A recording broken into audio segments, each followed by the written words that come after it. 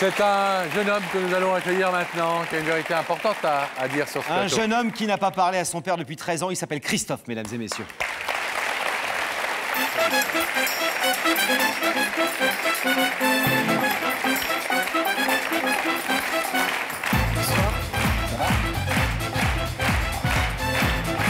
Ça va bien, asseyez-vous. Christophe, vous allez bien? Oui, ça va. Votre histoire nous a beaucoup touchés. Euh, 13 ans que vous n'avez pas parlé à votre père. Oui. Euh, une histoire un peu complexe que Pascal euh, euh, va nous raconter un peu mieux en, en images dans quelques instants, mais on va dire que suite à un divorce un peu complexe, vos parents sont séparés et puis vous avez décidé à 18 ans d'aller vivre chez votre père Oui. pendant Je quelques voulais- temps. Je voulais essayer, je voulais le connaître. Après, euh, qu'il ait été très absent dans votre vie, hein, pendant euh, près de 14 ans en fait, oui, 15. après Et le là, divorce. et là, ça s'est pas bien passé du tout. Non, pas du tout. C'est, euh, il est rentré dans ma vie euh, et euh, je me suis braqué. Il a voulu jouer le père tout d'un coup, Voilà, il a voulu alors que jouer depuis son rôle 14 de ans, il était très peu présent, et tout d'un coup, vous vous êtes dit, c'est pas ce que je veux. Non, pas du tout. C'est- Et là, ça a été le- le... ça a été le clash et euh, je suis reparti. enfin, il m'a mis dehors et je suis reparti euh, Voilà, il vous a, sur Paris. il vous a mis à la porte de chez lui et depuis vous ne vous êtes euh, pas vu, euh, pas parlé. Ça fait 13 ans que ça dure. Aujourd'hui, vous voulez mettre fin à cette situation. Alors euh, l'histoire de Christophe et de son père euh, Christian, euh, cette histoire chaotique avec euh, 14 ans d'absence, des retrouvailles et à nouveau 13 ans de séparation, on la raconte tout de suite.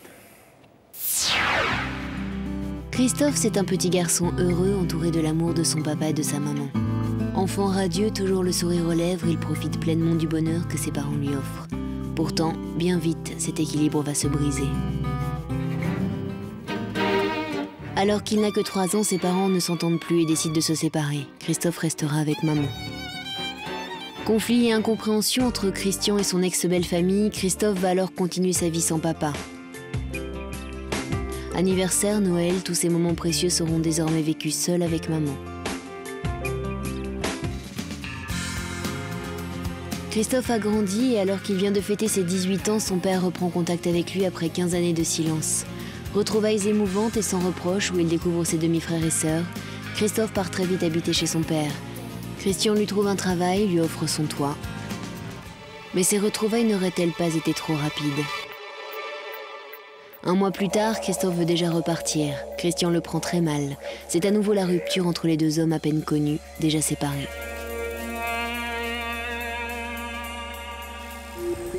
Aujourd'hui, Christophe a 31 ans. Il est devenu un homme. Il regrette ses erreurs passées et ses 13 années encore perdues loin de son père. Il souhaite enfin renouer les liens avec son papa et prendre le temps de le connaître sans plus jamais avoir à se séparer. Christophe veut dire à Christian Papa, tu me manques. Laisse-moi encore une chance de faire partie de ta vie.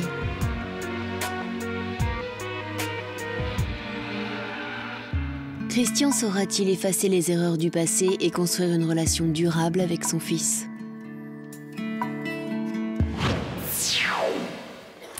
Ça, on va le savoir dans quelques instants. Des images qui vous ont touché, Oui. hein, certaines notamment. Euh, quand vous étiez enfant, que- comment on vit euh, sans père comme ça quand on est, quand on à 3 ans, ses parents, ses parents divorcent et que pendant très très longtemps, on voit très peu papa? On y pense beaucoup, on se fait une raison, on oublie, on, on évite d'en parler? C'était un sujet tabou, oui. Ça a toujours été un sujet tabou euh, avec maman, avec le reste de la famille. Et dans votre cœur, c'était un, un manque euh, qui, qui faisait mal J'avais pas forcément de manque parce que j'ai été élevé par mon beau-père, qui aujourd'hui mm, tient une grande place dans mon cœur. Euh, j'ai pas forcément connu ce manque. C'est plutôt au jour d'aujourd'hui que, que j'ai ce. Que vous avez ce manque. C'est un alors, morceau de moi et j'ai besoin de, j'ai besoin de connaître ce morceau de moi. Comment vous expliquez que pendant 14 ans, de, de vos 3 ans, euh, on va dire 15 ans même, hein, de vos 3 ans à vos 18 ans, votre père a été si peu présent Normalement, un papa, ça garde des contacts avec ses enfants, ça les voit tous les 15 jours, pendant les fêtes, les fêtes et, les, et les vacances scolaires. Comment, comment vous expliquez ce manque, cette absence? Je- J'ai pas d'explication. Vous n'avez pas parlé avec lui quand vous l'avez retrouvé à, à Si, 18 ans? Si, certainement, mais en, en 12 ans, j'ai effacé beaucoup de choses de ma mémoire. sans- Depuis que vous avez 18 ans? Oui. Des choses qu'il a pu vous dire à l'époque, vous avez oublié Oui. Pourquoi? Oui, Parce que j'ai vécu pas mal de choses en 12 ans qui m'ont beaucoup touché. Donc, euh, la mémoire sélective a fait son travail et euh, j'ai- oublié beaucoup de choses. Alors, qu'est-ce que vous espérez aujourd'hui de cette euh, démarche face à ce père que vous connaissez si mal et, euh, et qui a tellement peu été présent dans votre vie D'apprendre à le connaître, d'établir un lien euh, de, de père et de fils, et, euh, et de, Et depuis- de construire quelque chose. Depuis 13 ans, quand vous avez quitté la maison, après une engueulade, j'imagine, ou en tout cas une- un gros conflit, il n'a plus jamais donné signe de vie, lui. Si il est revenu quelques temps après, il est revenu sur Paris, il est venu me voir, mais euh, moi j'étais. euh, Fermé. oui. Et après, plus de signe de vie. Non. Et vous non plus, c'est la première fois ce soir que vous faites une démarche vis-à-vis de lui. Oui. Et pourquoi notre émission? Pourquoi ce soir? Les, les- les choses que je vais lui dire euh, auront peut-être plus d'importance parce que je suis sur un plateau de télévision. Pourquoi? Je, je sais pas, c'est une image qui me. Ça va prendre de la résonance, Olivier. Ouais, voilà, ouais. C'est peut-être plus facile paradoxalement que d'aller que de vous retrouver face à lui dans une pièce euh, en tête à tête. Bon, on espère qu'il se trouve en ce moment même aux, aux côtés de Daphné et, et que donc il, est, il a accepté l'invitation. On espère aussi surtout que votre euh, démarche euh, ben, correspondra à son attente. On abandonne quelques instants. À tout de suite.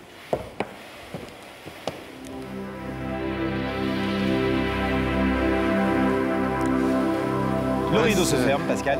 On laisse le rideau oui, se refermer derrière nous et isoler l'autre partie du plateau pour pouvoir euh, ouvrir la connexion avec la loge de Daphné. Daphné. Oui Alors vous savez que je suis avec Christian. Bonsoir Christian. Bonsoir. Euh, Christian, vous, vous êtes euh, animateur, alors vous avez animé des, des mariages, vous avez même fait de la radio. Et vous, votre but dans la vie, c'est quand même de procurer du bonheur aux Donner, gens. ouais. Donner et, du bonheur, Et tout à l'heure, vous me disiez, euh, maintenant que je suis là, je ne sais pas comment le vivre.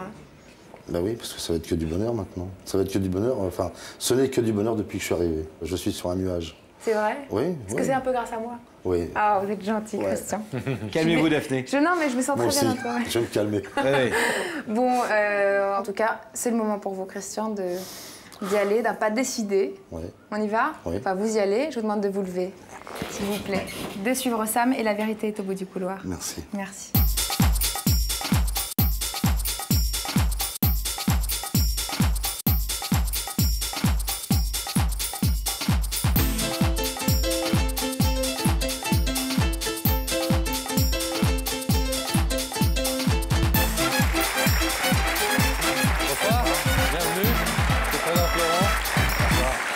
Asseyez-vous. Alors vous vous sentez privilégié. Ah oui. Bah oui. Ouais, euh, C'est nous qui sommes très honorés de votre visite Merci, ça me fait plaisir. et que vous ayez répondu à, à l'invitation de la personne qui se trouve pour l'instant de l'autre côté du rideau, qui veut vous parler. Ouais. Petite idée Oui, Oui oui, oui. Bonne surprise, mauvaise surprise? Que des bonnes surprises. Bon, de toute façon, ici, il n'y a que des bonnes surprises, hein, globalement. Après, on dit oui, on dit non, mais, Oui, mais globalement, me il n'y a pas de mauvaises nouvelles. Il n'y a pas de mauvaise nouvelle. oui. Bon. C'est ce que je me suis dit dès le départ.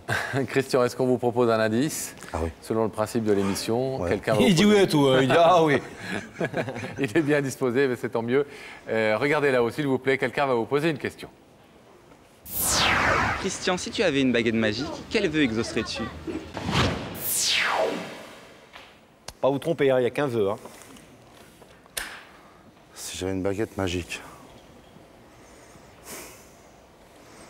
De revoir quelqu'un euh, que je n'ai pas vu depuis X années. Euh, pff, voilà, ouais, je- une baguette magique. Je donnerais du bonheur à tout le monde. Donner du bonheur à tout le monde, ça c'est un beau vœu. Et revoir quelqu'un, vous pensez à une personne en particulier ou c'est un vœu où il y a plusieurs personnes que vous n'avez pas vues depuis euh, X années et euh, que vous aimeriez revoir? Beaucoup, de- beaucoup, ouais, ouais, une personne, ouais, une personne, j'ai un doute, ouais, mais bon, je préfère rien dire pour l'instant. Et vous voudriez changer des choses avec cette baguette magique si vous pouviez, si vous aviez une machine à remonter le temps qui permettrait euh, Oh là là. de ne pas faire d'erreur ou de, de faire des choses différentes? Oh là là, vous êtes fort. hein. Oh là là. Je, je peux pas vous répondre à cette question, franchement. là. hein? Vous me faites peur. On change pas le passé surtout. hein. Ouais, on change pas le passé. Heureusement ou malheureusement, Voilà. c'est comme on peut ça. pas, on peut pas le refaire, oui, c'est sûr. Bon, en tout cas, on peut regarder l'avenir euh, positivement. Et euh, on peut aussi regarder dans des écrans pour traverser du regard un rideau qui, pour l'instant, est opaque, mais qui peut effectivement euh, devenir transparent, si vous le voulez bien, pour découvrir le visage de la personne qui veut vous parler. Ouais. Vous Ouais, êtes ouais. prêt à ça Oui, On y va, Christian? Oui. Alors, euh, regardez la vérité dans les écrans.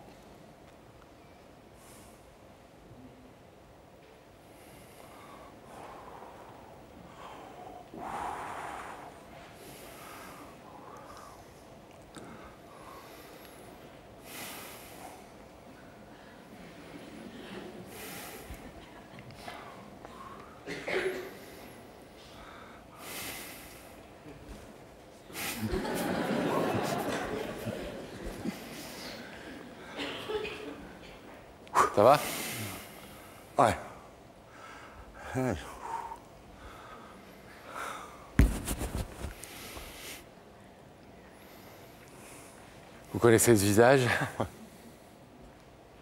Ouais. même si vous ne l'avez pas beaucoup vu dans votre vie. Oui.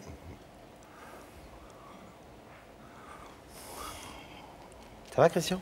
Ouais. Ouais? Vous voulez un petit verre d'eau? Ah, je veux bien, ouais. on, on se fout de moi quand je demande ça, mais. Vous voulez vraiment un petit verre d'eau? Oui, oui, je veux bien. Bon. On peut, s'il vous plaît. Voilà. Tant mieux alors. Oh, Allez, merci. je vous en prie. Bon alors, Oui, Vous connaissez donc ce visage. oui. votre fils, oui. Vous avez l'air très ému de Christophe. voir Christophe, euh, Christophe. dans les écrans. T'as changé combien d'années que vous ne vous êtes pas vu? Euh, La dernière fois, il avait 18 ans et Il en a 31. Ça fait je 13. sais, 30 décembre 75. À Anthony.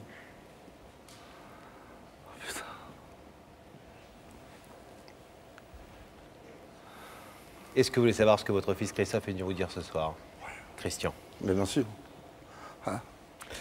Christophe, votre papa vous écoute. Bonsoir. Euh, si, si je t'ai fait venir sur ce plateau, c'est. C'est. Pour te. Pour te dire qu'il y a 12 ans, je t'ai pas donné une bonne image de moi. J'étais rebelle, j'étais. Jeune. Et euh, au jour d'aujourd'hui, j'ai 30 ans, j'ai ma vie, j'ai construit plein de choses, j'ai vécu plein de choses. Et il me manque encore une, enfin, il me manque une chose. Et euh, bah, cette chose, c'est toi. Et si je t'ai fait venir sur ce plateau, c'est pour savoir si, si tu voudrais bien qu'on reprenne le contact, un vrai contact, qu'on prenne le temps, qu'on fasse pas encore des erreurs. Et qu'on fasse les choses bien et voilà parce que tu me manques tu es un morceau de moi et je peux pas je peux pas renier ça Voilà.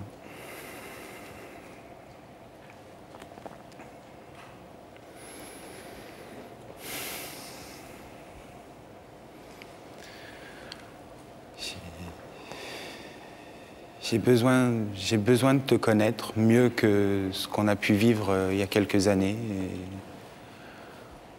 Voilà, j'ai- c'est tout.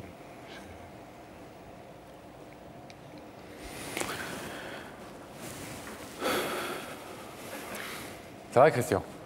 Respirez. Ouais.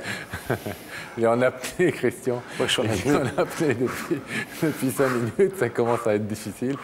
Euh, sur, euh, sur quelle image vous êtes resté de Christophe quand, malheureusement, euh, il y a, a 12-13 ans, euh, ces retrouvailles se sont si mal passées? Non, il y a 12 ans, il y a 12 ans, euh, il pense que c'est lui qui a fait la mauvaise image, mais c'est moi qui n'étais pas à son écoute. Au contraire, là, il, il t'as pas à culpabiliser, c'est de ma faute. J'ai mal. J'étais pas un père, je savais pas, je te connaissais pas. Et puis, bah, j'ai pas su, j'ai pas su t'écouter, j'ai pas su. euh, j'étais même très mauvais.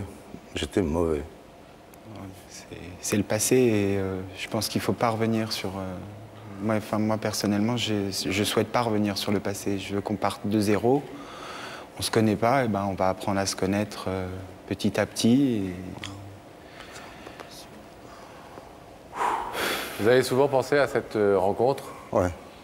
Vous l'avez souvent imaginé, espéré, rêvé Ah, ouais, rêver, euh, ouais, bien sûr. Mais un fils, vous vous rendez compte, c'est mon sang.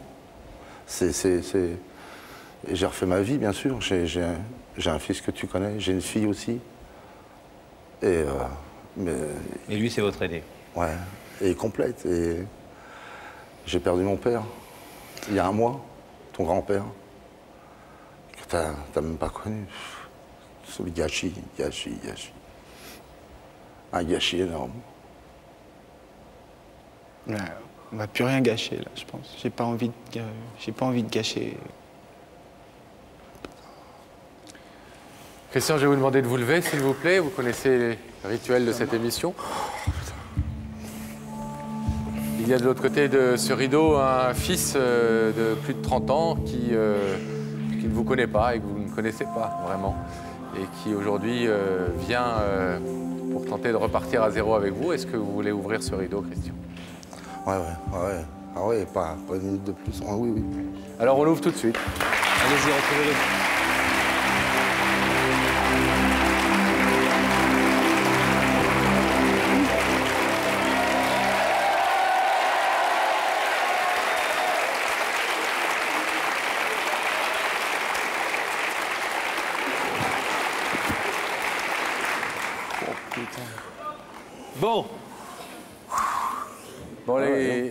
Dire les garçons parce que vous ressemblez tellement étrangement, on a l'impression de deux frères.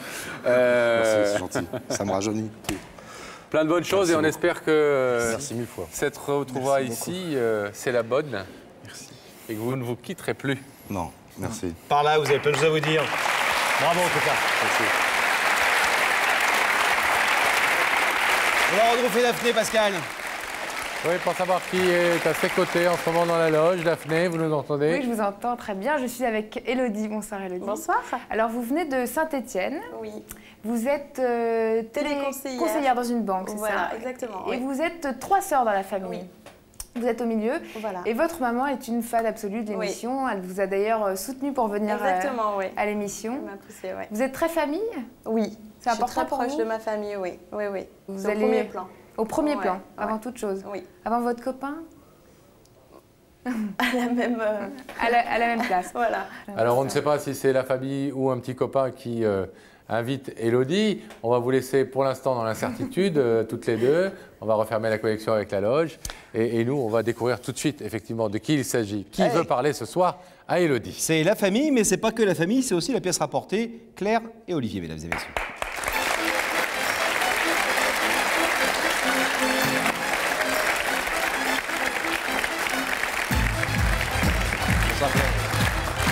Olivier, ça va Ça va bien.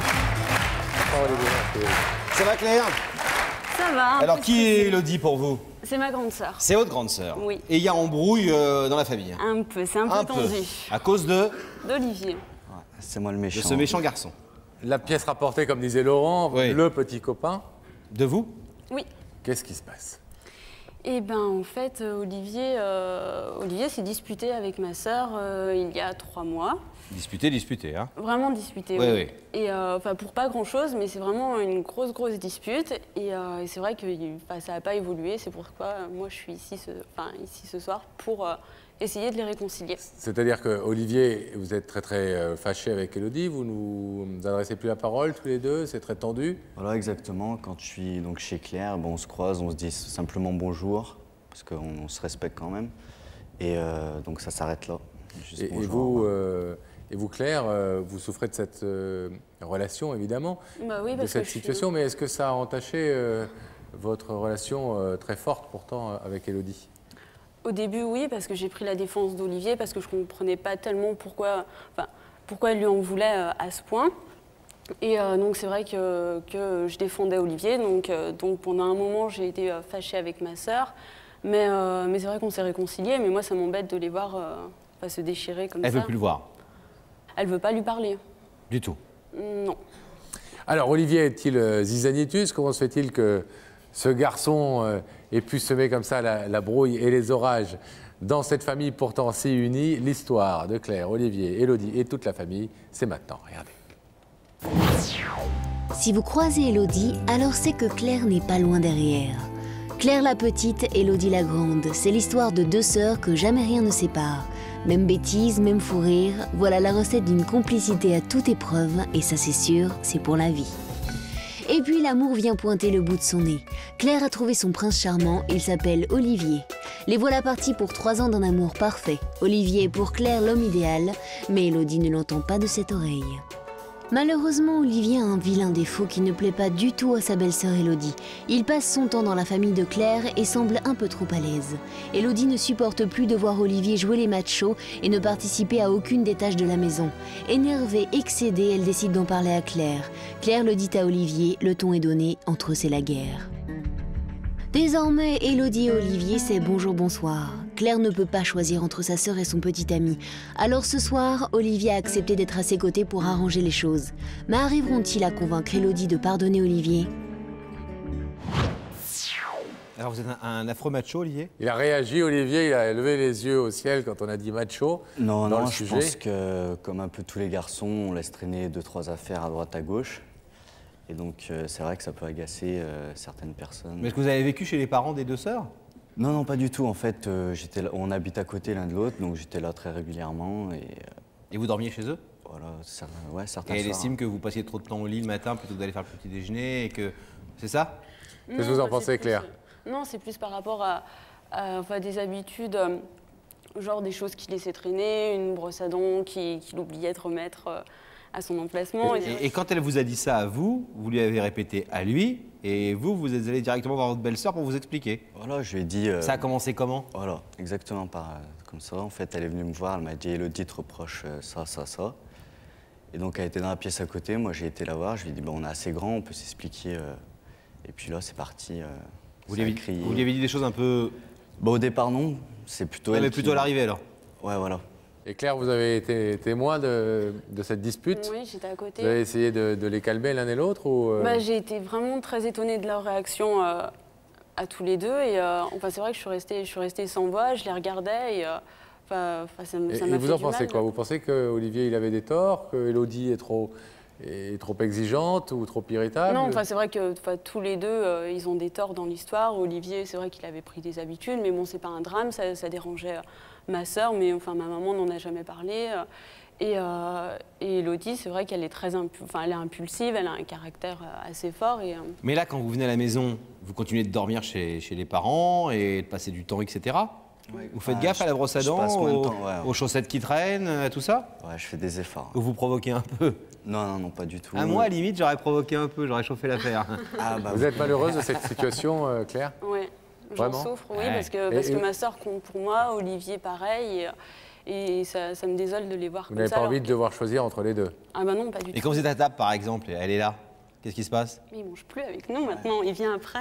Il n'a pas le droit de manger avec vous non, c'est pas qu'il veut, enfin c'est pas qu'il a pas le droit, mais c'est qu'il s'arrange pour éviter au maximum ma sœur. Et vous vous retrouvez jamais dans la même pièce? Non, rarement. Ouais. J'essaie de. Enfin, ce cas, c'est que le week-end, elle part euh, donc sur, euh, sur Lyon. Donc, eh ben, les week-ends, je suis plus souvent chez Claire. Et les parents, ils disent quoi de tout ça? Ils, essaient de- ils, sont, ils ont essayé d'intervenir, de calmer les choses ou ils, sont- Ouais, ils mais ne s'en mêlent pas? difficile, euh, C'est difficile parce qu'ils sont têtus l'un et l'autre et on ne sait pas trop comment, euh, comment les rapprocher. Parce que, et, et vous, Elodie, quand vous lui en parlez, elle euh, refuse de vous entendre?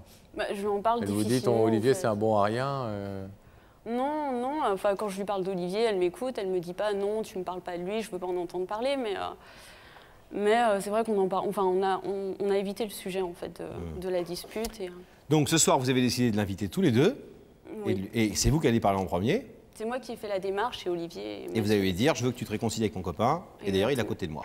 Voilà, et vous, Olivier, vous allez dire quoi? Vous allez vous excuser? Bah, m'excuser, euh, oui, et- enfin, un petit peu, mais je veux dire plutôt. euh, Lui demander de faire des efforts. Non, quand même pas. Lui demander de- qu'on fasse des efforts tous les deux. On est assez grand, je pense, pour, euh, pour pouvoir euh, avoir un minimum d'entente. de- des deux côtés, donc c'est pas c'est pas à lui de s'excuser. euh, Enfin, c'est pas à sens unique. hein. Oui, mais quand on fait une démarche ici, de ce côté-là du rideau, c'est en général, on, est, on, on doit être très constructif, parce qu'autrement, euh, si c'est euh, venir ici pour venir dire à l'autre, mais t'as que des torts et c'est à toi de t'excuser. Donc vous allez quand même essayer d'être un peu dans le sens de, Ah ouais, de la main ouais. tendue. Oui. Euh, on vous abandonne quelques petits instants, on va retrouver Elodie. À tout de suite. C'est vous qui parlez en premier, hein Oui. Le rideau se referme, on, on retrouve euh, tout de suite la loge dans laquelle euh, Daphné est en train de faire patienter Elodie. Daphné. Bon, alors moi, ce que j'aimerais comprendre, Elodie, c'est qu'est-ce qui vous a donné envie de venir à l'émission, malgré le fait que ce soit peut-être, euh, je ne sais pas, votre petite amie ou... Bah, la curiosité surtout. Puis j'avais peur de regretter en disant non. De... On ne peut jamais savoir euh, la personne qui m'avait invitée sur le plateau. Ouais, parce qu'on ne vous l'aurait pas dit, c'est vrai. on ne- Ouais. On ne force pas les gens, mais une fois qu'ils refusent, on, on ne Ouais, leur dit pas qui, qui les a ouais. invités. Mm. Et ben, je pense que vous avez pris la bonne décision. Je vais vous inviter à rejoindre Pascal Lebrun, si vous le voulez. Oui, bien sûr. Alors, je vous demande de vous lever, s'il vous plaît, de suivre Sam, et la vérité est au bout du couloir. Oui.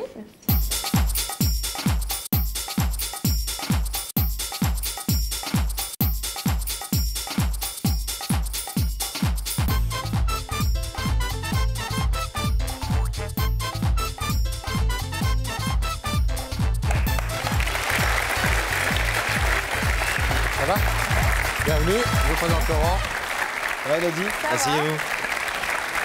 Vous regardez l'émission de temps en temps Oui, bien sûr. C'est comme à la maison Oui. On est pareil qu'à la maison Ouais, ouais. C'est aussi beau qu'à la maison Oui, même plus. Plus beau Oui. Arrêtez parce qu'après on va plus le tenir, vous savez. Il faut quand même qu'on aille jusqu'à la fin de l'émission. Euh, Elodie, euh, curiosité, dites-vous à Daphné, Oui. comme motivation. Euh, Est-ce que, au-delà de la curiosité, on a, euh, quand on est à votre place, euh, le secret désir que ce soit quelqu'un plutôt que quelqu'un d'autre Mhm.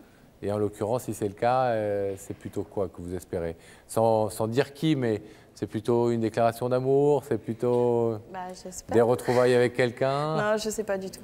Je sais pas du tout. Vous espérez que c'est une déclaration d'amour? Ouais, bah, c'est toujours plus. euh, Vous avez un petit copain? Oui. Donc ce serait lui, Bah oui. pas quelqu'un d'autre? Ouais. Pas un deuxième soupirant. Bon, c'est pas. D'accord. Vous seriez bien embarrassé si Ouais, c'était un deuxième. ouais, Bon. ouais. Euh, Un indice peut-être, non euh, Si Elodie en est d'accord, euh, on peut regarder. Mhm. Dans ces écrans, quelqu'un va vous poser une question à qui on a raconté votre histoire. Elodie, es-tu du genre impulsive ou réfléchir? Plutôt réfléchi. Vous vous, vous, vous mettez jamais en colère? Si. Ça vous arrive Ouais. La dernière fois que vous êtes mis en colère fort, fort, fort, c'était quoi Euh, C'était dans ma famille, c'était une histoire de famille. Sur la famille Ouais. Classique. Avec votre Ouais. famille, mais je croyais que vous vous entendiez, vous étiez euh, Enfin, hyper euh, euh, soudés avec votre famille et On tout va dire ça. une pièce rapportée. Une pièce rapportée. Oh, quel vilain mot ah bah oui, mais Pièce rapportée Qu'est-ce qu'elle avait fait, la Oh. pièce rapportée? C'était... des- Enfin, je veux pas rentrer dans les détails. D'accord, une histoire, une sombre Ouais. histoire. Et ça, ça vous a euh, fait bien monter dans les tours. Un beau-père, une belle-mère, quelque chose, un deuxième Non, mari de non, non, que c'était le copain de ma sœur. Pas important. Ouais. Bon. De temps en temps, quand même, vous, vous êtes euh, capable de sortir de vos gonds. Ouais, c'est rare, Hein mais quand je. Et dans ce cas-là, quand ça- ça... explose, ça explose. Ouais. ça explose bien. Ouais, ouais, Et rare. après, vous êtes euh, facilement euh, capable de revenir un peu en arrière et de tendre la main ou Et vous non, êtes euh, rancunière Je suis plutôt rancunière et. Enfin, C'est-à-dire que je peux pardonner, mais j'oublie pas. Oula, Voilà. Je... ça rigole pas. Eh oui, il faut pas, faut pas m'énerver. Pas me faire chier. Voilà. Je vais le dire. Bon, Est-ce que, Elodie, vous êtes prête à découvrir le visage de la personne qui veut vous parler? Oui. On y va, on ouvre les écrans sur l'autre euh, côté du plateau. Eh bien, allons-y. alors.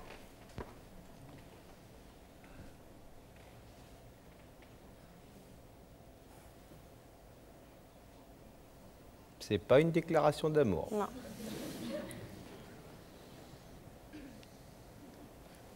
connaissez ce visage? Oui. Celui de votre sœur? Mm. Cachez votre enthousiasme.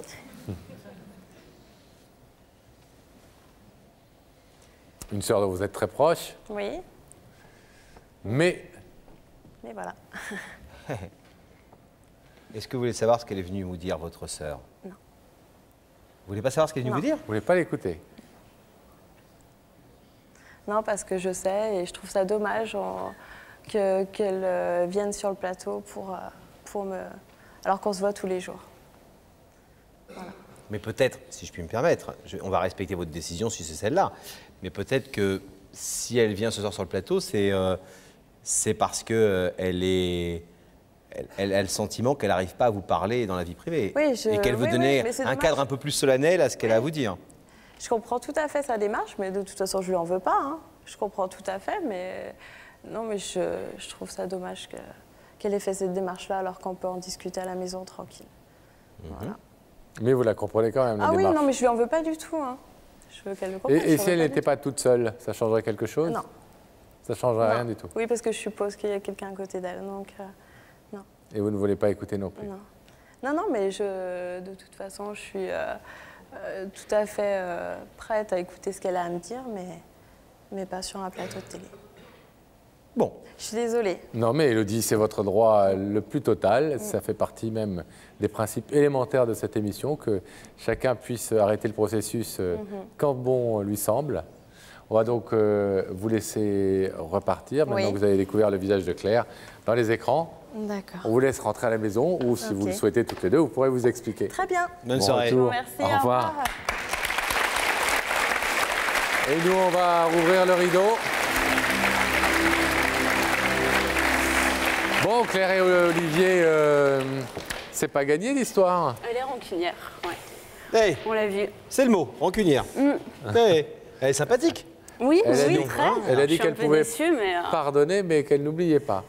Comment vous, vous interprétez néanmoins euh, ce refus? Bah, elle a pas. Vous on pensez que c'est le, c'est le fait d'être sur un plateau de Je pense, télévision oui, ou c'est c'est ce qui euh, la dérange en fait, parce que ça relève du privé forcément, et euh, je pense que c'est ce qui la dérange. Bon, ben. Il n'y a rien de, de pas honorable. Olivier, est-ce que vous restez néanmoins motivé pour essayer de- d'arranger les choses? Ouais, ouais, c'est sûr que moi je fais ça pour pour le Claire bonheur de Claire voilà. C'est ce qu'on vous souhaite Merci en tout cas. beaucoup, en tout cas. Bravo, ils ont une, une- une- une démarche de réconciliation, c'est toujours une, une belle démarche, ça prouve une grande intelligence. Donc bravo à vous deux d'être venus ce soir. C'est par là les amoureux. Merci.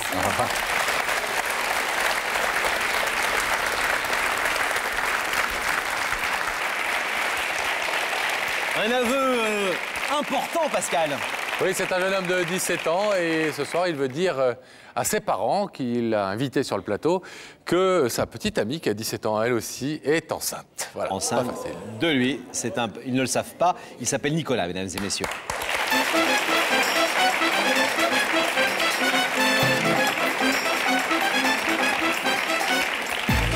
Ça va, Nicolas? Asseyez-vous. Nicolas, 17 ans, et bientôt papa, dans 5 mois. Voilà, exactement. Votre petite amie est enceinte, elle a 17 ans aussi. Non, 18 ans. 18 ans, ah, une vieille. Non, quand même pas. 18 ans, enceinte de, de 4 mois. voilà. Vous savez déjà si c'est un petit garçon ou une petite fille? Là, c'est, on ne sait pas encore, c'est la semaine prochaine. Euh, Qu'est-ce que vous souhaitez, euh, Nicolas? Bah, plutôt une fille. Plutôt une fille. Ouais. C'est Alors, c'est un, un bébé que vous avez souhaité avec Aurélie ou c'est un bébé, entre guillemets, C'est accidentel un accident. C'est un accident, Mais que euh, vous voulez assumer l'un comme l'autre. Voilà, moi je suis prêt à l'assumer. euh, je suis prêt à assumer ma paternité, donc euh, j'ai accepté ce bébé. Donc il n'y a pas eu de souci sur ce côté-là. Et d'ailleurs, Aurélie l'a déjà annoncé à ses parents. Voilà. Ils l'ont bien pris Ben, en fait, on va dire qu'ils ont été choqués au début, Ouais. comme tous parents, je pense. Puis petit, petit à petit, ils l'ont pris très bien, quoi. Il n'y a pas eu de souci. Ils sont heureux, quoi. Et avec vos parents, ça se passe un peu moins bien. Moi, j'aurais pas du tout annoncé. Ils sont pas du tout au courant. J'avais depuis ma copine depuis un mois. Donc je leur dis, elle a beaucoup de travail. euh, Ah, ils la voient pas? Non, ils la voient pas. Ça fait un mois qu'ils l'ont pas vue? Ouais. Donc il la voit pas grossir. Non. Combien de temps, euh, depuis combien de temps dure votre relation avec euh, Aurélie? Ça fait huit mois. Huit mois. Donc euh, on est très heureux ensemble. Donc je, je sais que je vais faire ma vie avec elle. Je tiens très, très fort à elle. Vous donc, êtes sûr euh, de votre amour? Je suis su- hyper sûr de mon et du sien aussi Voilà. De la solidité de votre relation, même si elle est quand même assez récente, assez neuve. Ouais, c'est sûr, mais moi je suis sûr qu'on s'est fiancés. euh, je suis sûr que c'est la femme de ma vie. quoi. Comment vous expliquez que vos parents ne soient pas au courant, que vous ne l'auriez pas dit déjà? C'est la pre- première chose qu'on fait, c'est de dire à ses parents, euh, voilà, on va avoir un bébé, quoi. C'est vrai que ça serait été facile de dire à ses parents, euh, voilà, euh, oh, euh, ma copine est enceinte, mais j'étais vraiment euh, toujours stressé. et Je trouvais jamais le bon moment, quoi, pour dire ça. Parce que vous pensiez qu'ils allaient mal le vivre Voilà. Et vous pensez qu'ils vont mal le vivre Là, je pense quand même que c'est sur cette émission, ils seront peut-être mieux, ils seront plus heureux, quoi. Pourquoi? Parce que dire comme ça, c'est une preuve d'amour euh, sur ma copine. Il n'y a pas. Je pensais que le, le fait de l'annoncer de façon un petit peu spectaculaire comme ça, et en même temps en y mettant des formes particulières, fait que ça va passer un peu mieux. Ouais, ça, passe- ça pourrait passer mieux. C'est ce qu'on espère. On va, on va avant tout euh, déjà raconter votre histoire, votre brève mais intense histoire avec euh, Aurélie, euh, en images grâce au document que vous nous avez confié. Nicolas. Regardez. Amour et mariage, Jeanne Antide et Jean-Marie vont très vite devenir les heureux parents de huit enfants. Au sein de cette tribu, Nicolas va pointer le bout de son nez et prendre lui aussi part au destin de sa grande famille. Nicolas, c'est le tableau d'une enfance heureuse au milieu des siens. Nicolas devient un homme et rencontre l'âme sœur. Il croise le regard d'Aurélie et entre eux va tout de suite naître un amour pur et qu'il voit éternel. Nicolas et Aurélie n'ont que 17 et 18 ans, mais se promettent de s'aimer toujours et se fiancent. Mais à trop vite s'aimer n'aurait-il pas été trop insouciant? Aurélie tombe enceinte. Amoureux, Nicolas va pourtant prendre peur. Ne serait-il pas trop jeune pour entrer dans ce monde d'adultes Décision pressante d'une grossesse qui avance à grands pas, Nicolas fait le choix d'accepter son enfant à venir et sa prochaine paternité. Pourtant, une ombre plane sur son bonheur. Tous deux vivent encore chez leurs parents. Ils ne sont pas indépendants. Et alors qu'Aurélie porte son enfant depuis cinq mois déjà, Nicolas n'a toujours pas trouvé le courage de l'annoncer à son père et à sa mère. Ce soir, il veut enfin leur dire la vérité. Jeanne Antide et Jean-Marie accepteront-ils de le soutenir dans sa nouvelle vie? Belle histoire, parce qu'elle disait en lançant le sujet que c'était une histoire intense, on le voit. Et que- comment vous avez réagi le jour où elle vous a annoncé qu'elle était enceinte? Au début, j'ai mal pris, hein, je vais pas Vous mentir. avez dit quoi? Je suis ah, mais on on est trop jeune pour avoir cet enfant, euh, parce que mes, mes parents m'ont toujours monté la tête avec ça. Donc maintenant, moi, je je sais que je suis assez mature pour avoir cet enfant. Donc je suis prêt à, à m'en occuper. quoi. Vous avez euh, un, un boulot, donc vous, vous commencez à gagner un petit peu votre, votre vie. Mhm. Euh, vous vous sentez capable d'assumer euh, Aurélie, d'assumer le, le petit bout de chou à venir, etc. Et ouais, je suis vraiment prêt à assumer. J'y ai réfléchi plusieurs jours. Donc euh, moi, je trouve que c'est le bon moment pour euh, avoir cet enfant. Vous avez envisagé la possibilité de ne pas garder cet enfant? Oui, on a envisagé ça, mais pff, c'est après, on s'est dit, euh, de toute façon, on allait en avoir un plus tard. hein. De toute façon, deux ans après, on allait quand même en avoir un. On avait prévu ça. Donc, il n'y a pas eu de souci. après. Vous vivez chez vos parents pour l'instant? Oui. Et vous arrivez depuis 4, 3 mois, 2 mois, enfin vous l'avez appris il y a combien de temps? Il y a 2 mois environ. Ouais, ouais. Vous, vous avez, vous avez réussi à garder le secret, à pas leur en parler, à pas en parler à votre mère, à pas en parler à votre Mais C'est vrai que père? ça me faisait mal au cœur de ne pas en parler, parce que c'est sûr qu'on aimerait bien le dire aux parents, mais il n'y avait jamais le bon moment. Quoi. Franchement, il n'y avait pas de. Vous avez des frères et des sœurs? Oui, j'ai quatre sœurs et trois frères. D'accord, famille nombreuse. Voilà. Donc des petits-enfants déjà? Non. Vous êtes le seul, Voilà. le premier à en avoir. Voilà. Donc ils vont être grands-parents pour la première fois. Voilà. Bon. Eh ben ça c'est fait. Aurélie, elle a un boulot ou elle est Bah là, elle n'a pas de travail parce qu'elle a passé son, bec, son BEP horticulture, puis Mhm. donc euh, il n'y en a pas beaucoup dans, dans ces métiers-là. Elle en de. Cherche du boulot. Voilà. Enfin, elle a une formation, elle a un métier Voilà. potentiellement. C'est ça. Elle là, peut elle aussi gagner sa vie et être, contribuer euh, au ménage. Comme elle va être enceinte et, et qu'elle va avoir un bébé, l'horticulture, c'était pas pour tout de suite. Voilà, c'est sûr. Pluriculture plutôt, elle va Voilà. faire. plutôt qu'horticulture. Bon, Nicolas, on va voir si vos parents ont répondu à l'invitation, s'ils se trouvent aux côtés de Daphné. Puis à vous aussi de mettre un peu les formes quand même pour annoncer ça. Vous savez comment vous leur allez annoncer Vous allez annoncer direct ou vous allez faire non, un non, peu non, je vais parler un peu. euh, Ils sont comment vos parents vie, euh. Ils sont euh, Cool. genre euh, stricts, euh, on va dire cool. cool? Ouais, Bon. Donc Oui. vous pensez que ça va bien se passer? Ouais, je pense. Ils aiment bien Aurélie? Ouais, j'aime bien, il n'y a, pas- y a pas de souci. Ils la voient pas beaucoup depuis un mois ou deux, Ouais. évidemment, mais il y a des bonnes raisons à ça qu'ils ignorent. Mm. On vous abandonne, le temps de vous concentrer un peu, et puis on va les retrouver. À tout de suite. Pendant que le rideau se referme, on rétablit la connexion avec la loge où Daphné doit se trouver normalement en compagnie de deux personnes. Bah, effectivement, je suis en compagnie de Jean-Marie et de Jeanne Antide. Alors vous, vous êtes chauffeur-livreur? Voilà, dans une grande surface à Montbéliard. et, et vous, vous êtes Mère au foyer. mère au foyer de 8 enfants. enfants, c'est ça oui. Huit Nous avons enfants. huit enfants. Eh ben, Ça du boulot, félicitations, ça. fait beaucoup de boulot. Vous êtes quoi comme genre de maman, euh, rapidement? Cool. Une maman cool. Bon, très bien. Une maman poule, je dirais une maman poule et une Maman cool, poule, poule cool. Poule cool. Et, et vous, vous êtes papa poule aussi? Ah oui, oui, moi, mes Ou papa enfants- cool Moi, je suis papa très cool. hein. J'aime mes enfants. euh, J'ai huit enfants, mais je m'en occupe. euh. Bon, ben on Eh ben, espère que ça ça va durer bien, comme ça. Oula, bon, Euh. je, sens que vous êtes. euh, je vais vous les envoyer parce que bon. Oui, bah, mais ils sont bien cool, vous êtes Oui, sûr oui, hein super cool, Oui, vous oui, allez voir. vous oui, allez oui, ça voir. tombe Je vais bien. vous demander de vous lever, s'il vous plaît, à tous les deux. De suivre ça, mais la vérité est au bout du couloir. Merci.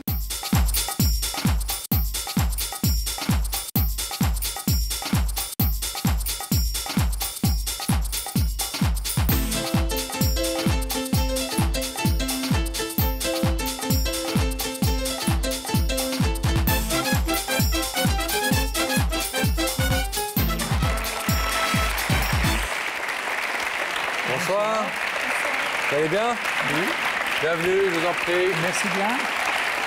Bonsoir Jean-Marie, asseyez-vous là. Merci. Bonsoir Jeanne Antide. Bonsoir, asseyez-vous là. Jeanne Antide, c'est un prénom original. J'ai jamais entendu quelqu'un qui s'appelait comme ça. C'est rare, des- un, un prénom aussi original. Ouais, c'est vrai. Et vous l'appelez à chaque fois Jeanne Antide, votre femme? Ah oui, oui. Elle n'a pas un diminutif? Donc vous ça appelez pas reste- Janie ou Ginny ou... Non, non, Jeanne Antide. non. Jeanne Antide, bon bah d'accord. Donc maman cool, maman poule Ouais, très très cool. et papa cool. Et là, ce soir, vous êtes comment? Vous êtes décontracté? Non, on est très très stressé quand même. Mais pourquoi? Vous n'êtes pas content de nous voir? Ah si, Si, tout à fait. Si, on est vraiment Ah, bon. surpris, très heureux. Vous connaissez l'émission? Oui, oui, on la regarde. Vous la regardez de temps en temps? Vous savez, vous avez une idée de la personne qui vient vous, Pas du tout. vous inviter Non, ce soir Aucune idée. C'est ça le souci. Et en plus, c'est quelqu'un qui vous invite tous les deux. Oui, c'est pour ça quoi. On s'est posé des questions, mais bon, euh, on a une grande grande famille. On n'a aucun problème, on s'entend tous bien, on se voit souvent, on fait... Tout est cool. tout se passe bien. Les enfants, ils ont de quel âge à quel âge 24 ans à 9 ans bientôt. D'accord. Pas d'enfants pour l'instant, de petits-enfants Pas d'enfants. Bon. Non. Alors, euh, est-ce que vous voulez l'un et l'autre un petit indice? Vous savez que c'est le principe de l'émission. Ben, oui, hein? Une petite euh, question va vous être posée dans les écrans et grâce à votre réponse, nous, on vous connaîtra un petit peu mieux. Grâce à la question, peut-être serez-vous mis sur la voie. Écoutez et regardez en même temps. Jeanne Antide, Jean-Marie. Dans la vie, vous êtes plutôt train-train quotidien ou vous préférez l'aventure? On est plutôt euh, train-train quotidien. hein. Ah oui On aime bien se retrouver en famille, être tranquille, pas trop sportif. hein. Pas trop de prise de risque? Non, pas trop de... ri- Non, non, non, non, non, non, euh, tranquille, quoi. Vous n'aimez pas trop les surprises non plus? Non, moi, les surprises, j'aime pas trop. Ah. non, non, les surprises... Et vous, Jeanne Non plus. Pas très non plus. Pas trop non plus. Ça tombe bien, ça aussi c'est fait. Bon. Euh, le problème, soyons clairs, c'est que dans Il a que la vérité qui compte, par définition, le principe, c'est la surprise. Et Eh oui, c'est ça. Bon, on espère que celle-là, vous allez la- l'apprécier et la vivre euh, positivement. En tout cas, les démarches, elles sont toujours constructives, vous le savez. Les gens viennent ici pour euh, essayer d'arranger les choses et de, et de faire une démarche positive. Alors, est-ce que vous voulez découvrir le visage de la personne qui veut vous parler? Vous êtes prêts? Ben, écoutez... euh, Voilà, il a des doutes tout à coup, Jean-Marie. Non, mais bon, euh, le problème, euh, on est un petit peu stressé, quoi. Vous voulez qu'on vous voulez qu'on qu'on fasse une toute petite pause, on vous donne un petit verre d'eau, on laisse passer une courte page de pub Ouais, on veut bien. Ça va Ouais. On laisse passer une courte page de pub, on se retrouve tout de suite. Tu veux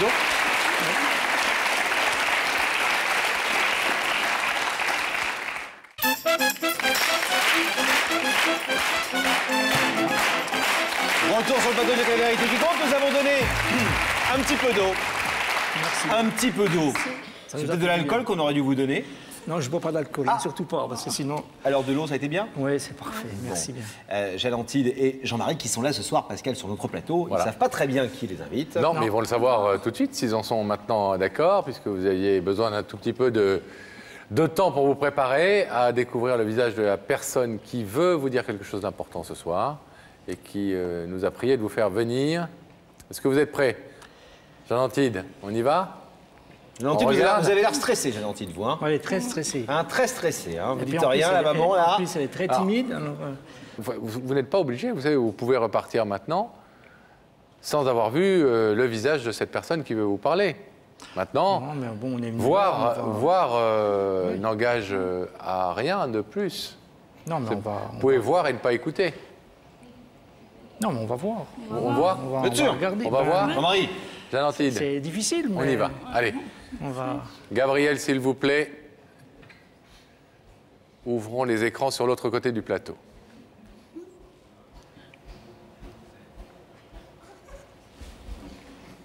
Ouf. Je l'avais pas reconnu. mais pourquoi vous vous levez Je connais pas. Ouais, c'est Nicolas. Oh, c'est Nicolas.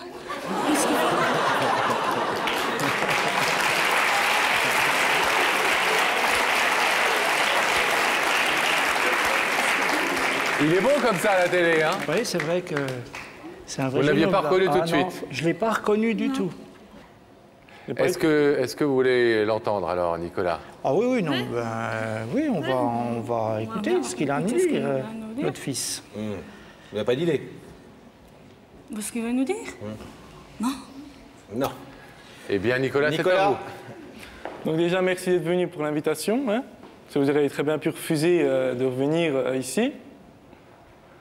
Et déjà, comme vous le savez, ça fait déjà huit mois que je suis avec Aurélie. Euh, on s'entend très bien, je sais que ça va être la femme de ma vie, il n'y a pas eu de problème. Donc je sais que vous l'aimez bien. Donc ensuite, euh, donc moi je m'entends très bien. euh, on va peut-être avoir un petit appartement. À 17 ans. Mais ça, c'est Ah, pas attendez, pour- attendez, excusez-moi, vous avez dit quoi Il a que Ah, 17 il a ans. 17 ans. Ah oui, pour le petit appartement. Ah bah oui Je comprends. Il a 17 ans. Mais on peut avoir un petit appartement à 17 ans, hein C'est c'est jeune. Il commence à gagner sa vie, là, maintenant. Oui, mais il a pas aura un gros que- salaire. Il aura que 18 ans. Ah mais je veux dire après l'apprentissage. 24 mai. C'est ça Ah, que je dis. après l'apprentissage. Ah, On ne voilà. sait pas s'il sera pris aussi. Après l'apprentissage Ouais. Laissons-le aller au bout de ce qu'il veut vous dire. Non mais déjà, ils sont un peu choqués par le fait qu'il va prendre un petit appartement, Pascal. Hein Allons-y, allez-y, Nicolas. Déjà, une fois que je vous aurais dit la nouvelle, vous allez me dire j'étais trop jeune, j'aurais pu profiter de la vie, euh, t'aurais pu t'amuser avec tes potes. Mais je veux dire, euh, moi maintenant j'assume, donc euh, c'est pour vous dire que vous allez bientôt être grands-parents.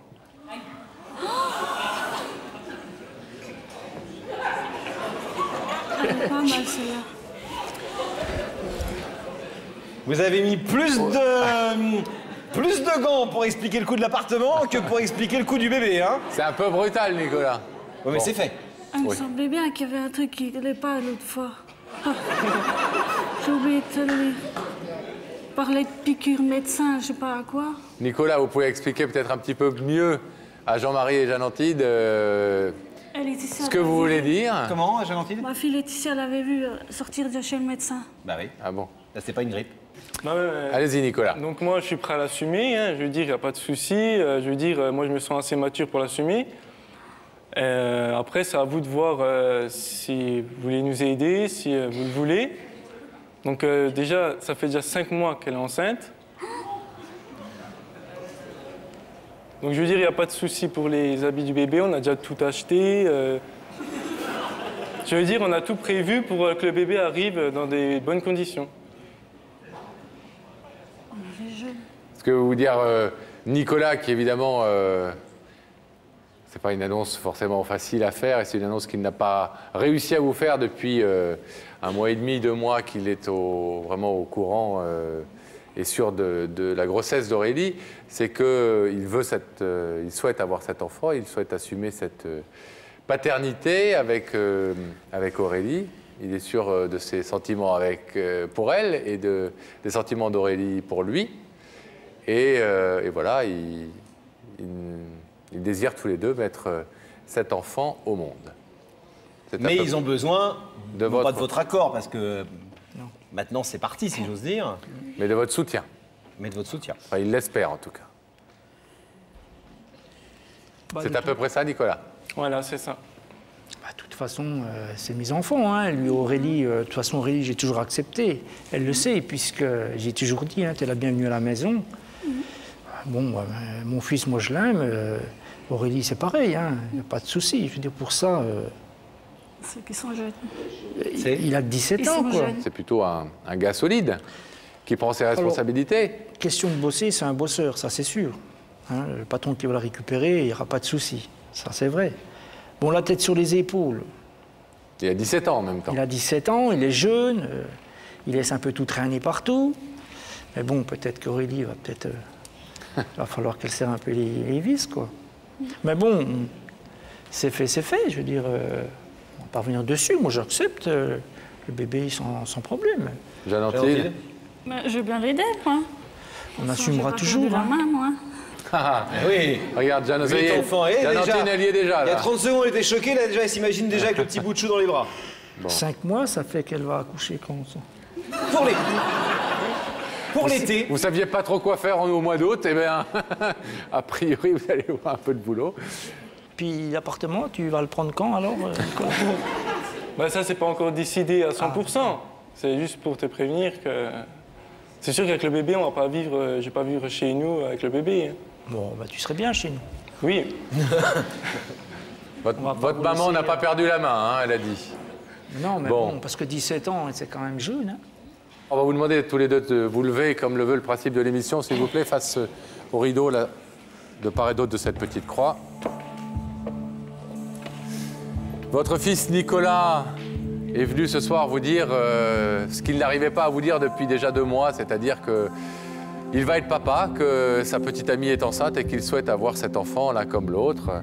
Ça lui a beaucoup euh, pesé, c'est ce qu'on a cru comprendre, de, vous taire ça et de vous euh, faire ce secret pendant, euh, pendant deux mois. Aujourd'hui, il est venu le dire, c'est le moyen qu'il a, qu'il a choisi de le faire, on a respecté ce, choix.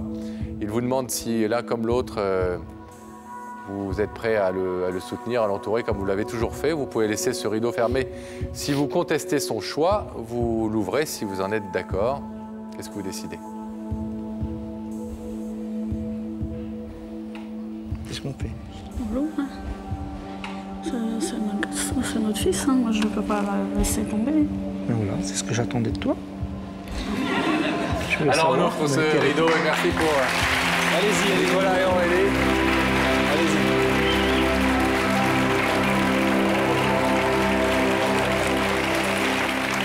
Bon. Ce grand gaillard là, on peut pas les laisser seuls deux minutes. Hein. Vous avez huit enfants C'est incroyable les enfants. À quel âge vous avez le premier enfant, vous 22. T'avais 22. 22. Et, vous, Janantide 18, euh, Ah. 19. Bah, Bon. papa, papa. Allez. Et elle a quel âge, Aurélie C'était pas pareil. 18. C'est pas pareil, vous C'est notre époque Exactement. Bon. C'est plus difficile. Oui, mais c'est. Il y a vrai. tellement de gamins qui tournent mal que pour une fois qu'il y a un gamin qui vous dit je veux avoir un bébé. Non, Et qui c'est prend grave. ses responsabilités. Il n'y a rien de, a- a grave non plus. Bravo Non, de ça, votre, c'est- euh, C'est une bonne nouvelle, c'est sûr. Bravo de votre compréhension et de la façon dont vous aimez vos enfants. Heureux de vous avoir. euh, Nous aussi, on est très vous, heureux. euh, Préparez-vous parce que c'est du taf quand même. Hein. Allez, On va par là. repartir par là, tous ensemble.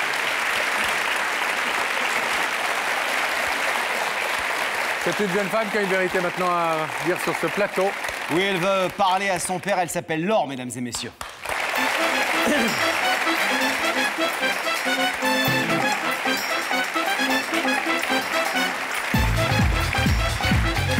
Bonsoir. Oui. Ça, c'est une caméra, ça. Bonsoir. Bonsoir Laure, asseyez-vous. Ça va bien, Laure? Ça va. Vous avez quel âge? 25 ans. 25 ans, une jeune femme, et vous faites ce soir une démarche importante. Oui. Vous voulez en, en- en quelque sorte réconcilier votre père et votre sœur, qui s'appelle Lydia. Et votre père et votre sœur ne se sont pas parlé depuis 10 ans. 10 ans. Oui. Ni vu, ni parlé, Si vu, bien sûr, euh, ignoré. euh, Croisé. Croisé. Et jamais un mot. Jamais un mot. Ils habitent loin l'un de l'autre Dans le même village, euh, les maisons presque à côté, et euh, ma sœur, elle à l'auto-école où mon papa travaille, et elle le croisait tous les jours, et elle ne lui parlait pas. Même à l'auto-école. Oui. Et elle l'avait pas comme moniteur? Et non, il est facteur, et en fait, l'auto-école est un de ses clients. Ah, ok. Donc, euh, en fait, l'histoire, la base de l'histoire, c'est que vos parents ont divorcé, Ils ont divorcé. oui. comme euh, dans beaucoup de familles françaises. euh, Un couple sur trois en France et deux sur trois en région parisienne, on, on le rappelle, donc ça n'est pas si original. Mais euh, vous aviez donc euh, une visite chez votre père euh, un week-end sur deux, comme ça se passe souvent, et puis un beau jour, vous décidez avec votre sœur de, de ne plus aller systématiquement chez votre père. Votre père le prend très mal, je résume. hein. Votre père le prend très mal, vous restez donc brouillé quelque temps, et puis vous, vous faites euh, le premier pas un jour. Oui. Vous allez le retrouver. Depuis, donc, vous êtes réconcilié avec Bernard. En revanche, Oui. votre sœur Lydia, elle, Pas du tout. Pas du n'a jamais voulu faire ce pas. Mm. Et donc, ils en sont au point de se croiser sans se parler, Ouais. de s'ignorer totalement. Mm. Et c'est une situation qui vous pèse. Oui. Aujourd'hui, vous voulez les, essayer de les remettre en contact. Oui. Alors, on a essayé, Laure, de raconter tout ça en images avec les documents que vous nous avez confiés. Tout de suite, l'histoire compliquée et un peu tendue de Bernard et de ses deux filles, Laure et Lydia. Laure et Lydia, deux ravissantes petites filles, deux sœurs, unies dans une enfance heureuse. Alors qu'elles ont 7 et 2 ans, leurs parents se séparent. Incompréhension d'enfants face aux problèmes des grands, elles resteront vivre avec maman et verront papa entre week-end et vacances. Bernard fait tout son possible pour préserver un lien fort avec ses filles, elles qui représentent à ses yeux joie et bonheur partagé. Mais voilà, Laure et Lydia grandissent et préfèrent voir leurs amis plutôt que leur papa. Elles n'acceptent plus qu'on leur impose de lui rendre visite. Bernard, impuissant, le prend très mal. Il se sent rejeté et trahi par ses propres filles et décide de couper tout contact avec elles. Laure est désormais une femme, elle rencontre l'amour auprès de Tanguy. Tanguy, qui n'a plus son papa, lui fait prendre conscience de l'importance d'un père dans une vie. Grâce à lui, Laure reprend contact avec Bernard, qui va fièrement conduire sa fille à l'église pour le plus beau jour de sa vie. Seule Lydia ne participera pas aux retrouvailles et restera sur ses positions. Lydia est encore blessée par dix années d'absence et ne se sent pas prête à revoir son père. Bernard, quant à lui, ne fait rien. Laure voudrait raisonner sa sœur, mais leur conversation reste sans issue. Alors ce soir, Laure a décidé de prendre les choses en main pour réunir sa famille. Elle veut demander à son père Bernard de faire le premier pas vers Lydia pour qu'enfin cesse le silence. Laure réussira-t-elle à réconcilier son père et sa sœur? Qu'est-ce qui, explique qu'à 15 ans, euh, on a vu que le, le sujet de la brouille à la base, hein, c'est que votre père ait mal vécu le fait que vous ne veniez plus chez lui un week-end sur deux, comme la loi vous y obligeait. Vous avez fait appel à un juge carrément pour changer ça. Qu'est-ce qui fait qu'à ce moment-là, à 15 ans, vous décidez de, moins voir votre père? Non, je pense qu'à 15 ans, on est en pleine adolescence. Alors bon, bon on veut faire ce qu'on a envie de faire euh, quand on a envie de le faire. Et, c'était plus- moins bien chez papa, papa que chez maman? Non, pas forcément, non, non, mais on voudrait y aller quand on a envie d'y aller et pas forcément euh, tous les 15 jours, le week-end, y aller la semaine peut-être. euh. Vous entendiez bien à l'époque l'une Oui. et l'autre avec euh, Bernard? Oui, bien sûr. Bah, ma sœur avait que 10 ans à l'époque, Ouais. hein, donc euh, on- à 10 ans, on s'entend bien avec son papa. Et à 15 ans aussi, hein, euh, j'entends bien. C'est pas parce que je m'entendais plus avec, pas avec lui que Mais je pourquoi vous voulais avez plus fait y aller. appel à un juge Vous auriez pu en C'est parler. obligatoire. Vous auriez C'est pu ob- dire à votre père, voilà, on n'a pas envie de venir tel, tel week-end, on viendra euh, un autre Non, soir. c'est la- c'est l'obligation, c'est la loi qui a fait ça. Et votre maman, elle a dit quoi à ce moment-là? Ah, elle a fait ce qu'il fallait faire. Elle a... c'est C'était vraiment a une fait démarche appel qui à un venait de juge, en vous, fait. De vous euh, Oui, oui, qui venait de moi. et de vous, Laure, euh, Oui. plus que de Lydia Ah oui, d'ailleurs. bah oui, Ouais. bien Parce sûr. que à 10 ans, elle était... À 10 ans, elle ne peut pas faire cette démarche-là. Alors, ce qui est incroyable, c'est que votre euh, sœur Lydia, qui avait 10 ans, n'a pratiquement plus vu son père depuis Voilà, euh, ouais. une dizaine d'années. Oui. Donc, elle a 20 ans aujourd'hui. Oui. Et que c'est elle qui est la plus dure aujourd'hui, À convaincre. qui ne veut même pas entendre Mm. parler de son père. Oui. Comment vous ça expliquez ça? Elle l'a moins vu que moi. Alors bon, elle a été élevée euh, par euh, ma mère et mon beau-père. Donc euh, bon, elle a été élevée par quelqu'un d'autre. Euh, elle a peut-être mal vécu la situation. Elle a peut-être cru que papa voulait plus s'occuper d'elle. Je pense que c'est ça. Et vous l'avez expliqué? Oui. Et alors?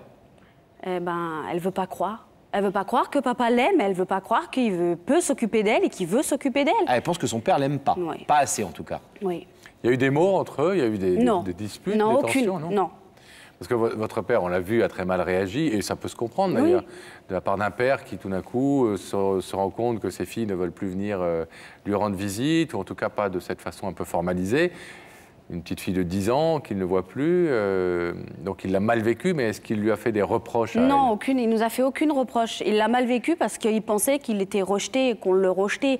Il n'a pas vraiment compris notre réaction, euh, notre ma volonté. Il a, il a pas trop compris. Il pensait qu'on l'aimait peut-être plus et euh, c'est pour ça qu'il a préféré nous laisser avec maman et puis euh, lui euh, s'effacer. Faire sa vie, quoi. Voilà. Il y a longtemps que vous n'avez pas de nouvelles de votre père, vous? Ah non, moi je l'appelle toutes les semaines quasiment. Toutes les semaines. Oui. Et vous avez décidé de reprendre des relations avec lui à partir de quand? À 20 ans, quand j'avais 20 ans, Donc, quand j'ai ans. oui, quand j'ai rencontré mon mari, en fait, lui. Vous êtes mariés son- déjà? Oui. Et j'ai deux petites filles. Déjà? Oui. Son papa est décédé à mon mari. Donc quand euh, j'ai commencé à le fréquenter, il m'a dit, tu te rends compte, toi tu as un papa, tu ne vas pas le voir, euh, c'est quand même pas possible. Moi, si j'avais un papa, j'aimerais bien aller le voir. Donc c'est pour ça que... Ça vous a fait réfléchir. Ouais. Et, et comment a réagi Bernard alors quand vous êtes revenu vers lui quand... Comme un papa qui revoit sa fille, il était heureux. Et il voudrait que ma sœur en fasse autant. Et donc, en clair, ce que vous allez demander à votre père ce soir, là, qui va arriver, c'est je veux ce soir que tu fasses le premier pas et qu'ensemble, Qu'ensemble, on a aussi invité votre sœur Oui. qui ne sait pas du tout pourquoi elle est ce soir, et ensemble, vous allez essayer de la convaincre, Oui. c'est ça? Vous pensez que Bernard euh, peut accueillir euh, favorablement votre démarche? Oui. Je pense que c'est c'est ce qu'il veut le plus cher. Le plus cher? Oui. Bon. Il veut retrouver ses- sa fille. Ça va être plus Il- dur avec votre sœur. hein. Ça va être plus dur avec ma sœur, oui. C'est une tête de mule, hein, euh, une forte tête. À mon avis, oui, ça va être très dur. Ouais. Et, et vous croyez, vous croyez qu'elle ne va pas vous en vouloir de faire cette démarche pour elle? Je sais pas. Vous êtes dans quel terme actuellement avec Lydia? Je m'entends très bien avec elle. Vous vous voyez beaucoup vous êtes, Je la euh, vois pas beaucoup parce que moi j'habite sur la région parisienne. ouais, Mais je l'appelle régulièrement et ce sera la marraine de ma fille. D'accord. Donc, Non, non, je l'entends très bien. Oui. Et, et, et quand vous l'avez au téléphone, vous lui dites Mais t'as vu papa cette semaine? Elle vous dit Vous n'en parlez pas du tout. Non, on n'en parle pas. Quand je lui en parle, elle détourne la conversation. Et pourquoi votre père, il a jamais fait l'effort d'aller la voir quand il la croise dans la Parce rue? que c'est une tête de mule aussi. Et que lui pense que ça serait plutôt à ma sœur de le faire, et ma sœur pense que ça serait plutôt à papa de le Donc faire. on réconcilier- on va essayer de réconcilier deux têtes de mule. Oui. Donc il y a du pain Et sur la planche. on va déjà voir si Bernard a répondu à votre invitation. Oui. S'il se trouve aux côtés de Daphné, on vous abandonne quelques instants. À tout de suite, à l'heure, Laurent. là. C'est quoi cette lettre? Hop, hop, hop, Pascal, attends. C'est la lettre que je dois lire à ma sœur, pour la faire revenir. C'est une lettre que vous devez lire à votre sœur? Qu'est-ce qu'il a écrite? C'est mon papa qui me l'a écrite à moi. J'ai pas tout bien compris, mais. On verra ça tout à. On l'heure. verra ça tout à l'heure. Chaque chose en son temps. Pour l'instant, le rideau se referme. Et Gabriel Coteau, notre réalisateur, va ouvrir la connexion avec la loge et Daphné. Daphné, est-ce que vous êtes là? Bah écoutez, je suis avec quelqu'un qui fait le, le même métier que moi. Le même métier que vous? C'est-à-dire? Bah, Il est voyage beaucoup. Il est facteur. Ah oui, Facteur. pas mal. Voilà. Et vous disiez que vous êtes quelqu'un de, de joyeux, vous souriez tout le temps? Euh, oui, puis j'ai un métier avec le public, il faut sourire. hein. Est-ce qu'en tout cas, vous avez envie d'aller retrouver euh, ces deux rigolards au bout du, du couloir? Euh, tout à fait, oui. Tout à fait. Oui. Bon, écoutez, je ne vais pas vous en empêcher. Je vous demandais de vous lever, s'il Oui. vous plaît. De suivre ça, mais la vérité est au bout du couloir.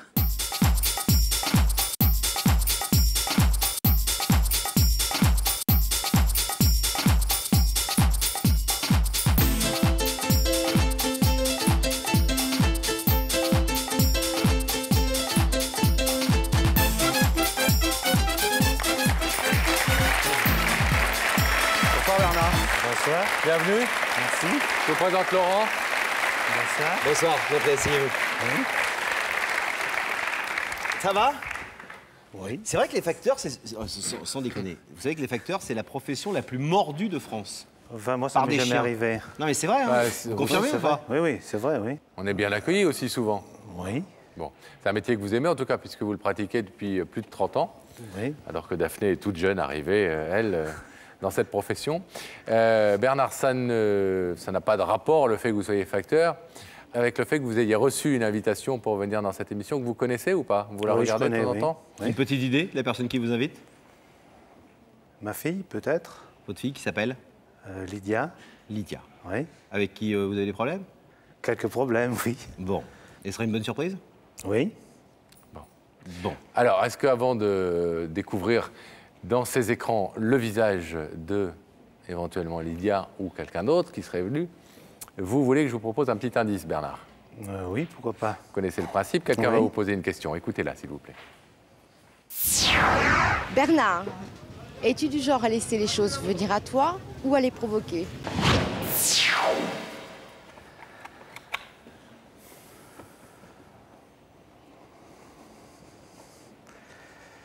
Vous allez de l'avant? Ou vous attendez que ça vienne euh, Oui, j'aimerais, j'aime- je préfère que ça vienne, oui. Vous préférez que ça vienne Oui, c'est vrai, oui. Vous n'êtes pas forcément celui qui déclenche les, les situations Non. qui... Non. Non, non. Vous êtes stressé, Bernard, un peu, hein Un petit peu, oui. Bon, ça se comprend. Détendez-vous. Vous savez que c'est toujours des démarches très constructives dans cette émission. Oui. Après, à vous de les accepter, euh, d'accepter cette démarche comme vous en avez envie. Est-ce que vous voulez découvrir donc euh, qui se cache derrière ce rideau? Euh, oui, je veux bien, oui. Alors, fixez à nouveau ces écrans, s'il vous plaît, Bernard, et la vérité va apparaître.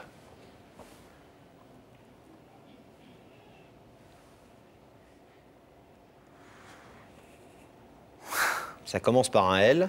Ah oui, oui, oui, mais c'est C'est pas une de vos filles Oui, c'est Laure. Ah, elle m'a bien eu, hein. Ah, ça, je m'y attendais pas, hein. Étonné de la voir Oh, oui, Laure, oui. Vous n'avez pas de problème avec elle Ah non. Ça se passe bien Oui, très bien. Alors, est-ce que vous voulez savoir ce qu'elle est venue vous dire, Laure, ce Ah soir bah oui, je veux savoir, Ouais oui. Oui, oui. Laure, c'est à vous. Bonsoir papa. Bonsoir, ma fille. Ça va Oui Je t'ai bien eu Ah oui. Bon, Voilà. si ce soir je t'ai fait venir, c'est en fait parce qu'il y a une situation qui me pèse énormément. Et pour toi et pour moi, Oui. je voudrais que tu reparles à Lydia. Oui. Ça me tient beaucoup à cœur. Ouais. Tu le sais Ça fait quand même très longtemps. Hmm? Euh, Tu, vous vous croisez, vous vous parlez pas.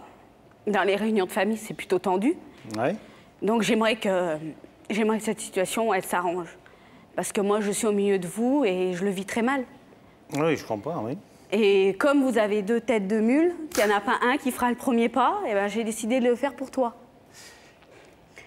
Donc euh, voilà, je voudrais qu'on forme une famille à trois, si c'était Ouais. possible. Oui, c'est possible, oui.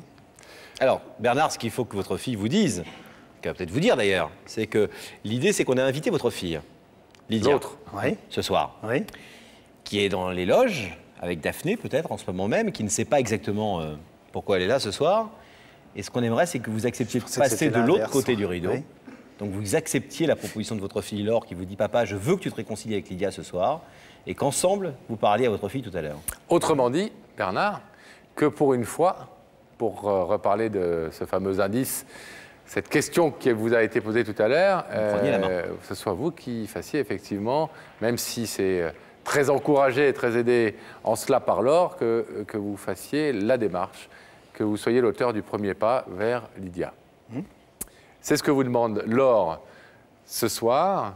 Avant de donner euh, la, la réponse euh, qu'attend Laure, euh, nous, on avait quand même envie de, pour mieux comprendre un peu cette situation, euh, ce qui semble un peu, un peu étrange, c'est que Laure nous a, nous a raconté euh, l'origine de la brouille, et étrangement, c'est avec l'aîné qui est peut-être sans doute, euh, qui était sans doute plus à l'origine de, de cette décision que, que la petite, qui n'avait que 10 ans. Oui. C'est avec l'aîné que vous êtes aujourd'hui réconcilié, alors qu'avec la plus jeune, Oui, parce que comment l'aîné vous vous expliquez ça? Parce que l'aînée est venue vers moi. Euh, elle a rencontré un homme qui, qui l'a mis, disons, euh, euh, sur le droit chemin, qui lui a fait comprendre qu'elle avait un père et il fallait qu'elle le voie. Mais est-ce que vous, vous en voulez, vous Ah non, euh, pas du tout, À, non. à l'époque, est-ce que vous en voulez à, à Lydia, alors qu'elle était toute Non, non. petite Oui, et oui, qu'elle non, non, était... mais pas du tout, pas du tout, non, non. Alors comment vous expliquez cette- cette- le fait que vous ne parliez plus? J'attendais qu'elle fasse le premier pas pour qu'elle vienne vers moi. Et elle, elle pense peut-être que si vous n'avez pas fait le premier pas, c'est que vous ne l'aimez pas suffisamment.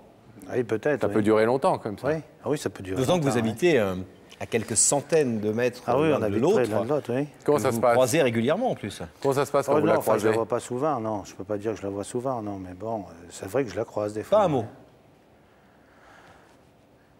Changer de chemin? Non, je change pas de chemin. Elle change non. de chemin? Euh, Peut-être pas, non. Mais euh, c'est pas, euh, c'est pas ça, quoi. Bon, alors c'est la situation est quand même bien tendue et bien, bien compliquée. D'après Laure, euh, c'est deux têtes de mule qu'il va falloir essayer de, réconcilier. Je vais vous demander, Bernard, de vous placer face au rideau pour déjà répondre à la première partie de euh, cette démarche de ce soir, c'est-à-dire euh, celle de Laure qui vous demande si vous êtes d'accord pour faire enfin le premier pas par rapport à Lydia, à ses côtés à elle, à ses- aux côtés de sa grande sœur. Est-ce que vous ouvrez ce rideau, Bernard? Euh, oui, bien sûr, je Oui. vais ouvrir le rideau. Allez-y, allez la rejoindre.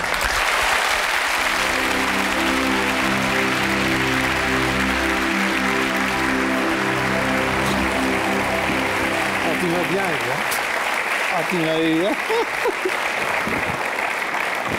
Bon. Ah, je m'attendais pas à toi. hein. Alors, on va vous proposer quelque chose. Vous allez vous retrouver tous les deux de l'autre côté. D'accord? On va faire venir euh, Lydia dans quelques instants. On va se séparer quelques secondes, Pascal. Juste le temps de laisser passer une courte page de publicité. On se retrouve tout de suite avec Lydia qui va découvrir son papa. À tout de suite.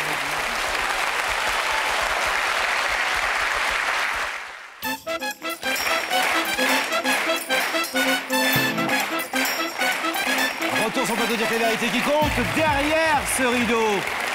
Derrière ce rideau, Pascal, une jeune fille de 25 ans, Laure, et son papa, Bernard. Bernard n'a pas parlé à sa fille depuis 10 ans, son autre fille, qui s'appelle Lydia. Depuis qu'elle a l'âge de 10 ans, il y a un souci dans la famille. Ouais. Un papa qui est blessé par le fait que ces deux filles euh, eh bien, n'aient pas manifesté plus d'envie, peut-être, que ça quand elles étaient adolescentes, de voir leur papa. Euh, dans un cas de divorce assez classique, où un week-end sur deux, on, on se partage les enfants. Et aujourd'hui, eh bien, c'est la grande sœur qui veut réconcilier le papa et la petite sœur, Lydia. Lydia est avec euh, Daphné en ce moment même. Elle ne sait évidemment pas pourquoi elle est, elle est invitée. Bernard a accepté euh, le principe euh, que lui demandait Laure, c'est-à-dire fais le premier pas et réconcilie-toi avec ta fille, avec ma petite sœur. On va donc maintenant ouvrir la connexion de la loge euh, de Daphné. Daphné Oui, bah, je suis avec euh, Lydia qui vient de me rejoindre. Bonsoir Lydia. Bonsoir. Merci d'être ici. Alors, est-ce que vous savez euh, où vous êtes? Est-ce que vous connaissez l'émission? Oui, bien sûr. Vous la regardez? Oui, de temps en temps, oui. D'accord, donc vous savez qu'il y a quelqu'un qui veut vous dire quelque chose? Oui. Vous avez une idée de la personne qui pourrait vous faire venir? Peut-être une petite idée, mais ça serait vraiment. euh, Ça vous étonnerait Ça beaucoup m'étonnerait beaucoup, oui. D'accord. Est-ce que je vous laisse encore patienter ou, ou je vous laisse y aller maintenant? Non, c'est bon, je. vous, vous vous sentez prête à affronter la vérité? Oui. D'accord, là je vais vous demander de vous lever s'il vous plaît. de suivre ça, mais la vérité est au bout du couloir. D'accord.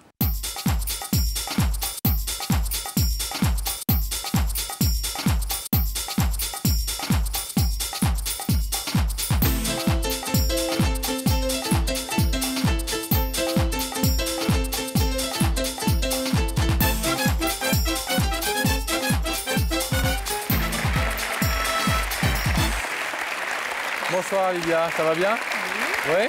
Vous êtes tendu Un petit peu. Voici Laurent. Bonsoir Lydia, asseyez-vous. Ça, vous êtes super belle. Vous êtes habillée comme ça tous les jours ou c'est parce que vous passez à la télé ce soir Non, non. euh, de temps ça, en temps. De temps en De temps. temps en temps. Bon, ça va Oui. Merci Vous de cette élégance en tout cas, ça Vous nous fait honneur. Alors, je viens de d'Isère, à côté de Lyon, juste à côté de Lyon. Dans un village Un petit village de campagne, oui. Vous habitez chez vos parents Oui. Encore Oui. Vous faites quoi dans la vie? Je suis en BTS assistante de direction. D'accord. Vous connaissez l'émission, vous l'avez dit à Daphné, ça? Oui, tout à Et fait. jamais vous seriez dit un jour je vais être invité face à Non. Pascal et Laurent. Non, jamais, non. Bon, détendez-vous, vous savez que ce sont toujours des, des personnes qui viennent animer d'intentions euh, positives, jamais pour dire des choses désagréables. Vous disiez tout à l'heure à Daphné, j'ai peut-être une petite idée, mais ça me semble pas possible. C'était, on, on vous voulez pas en dire plus?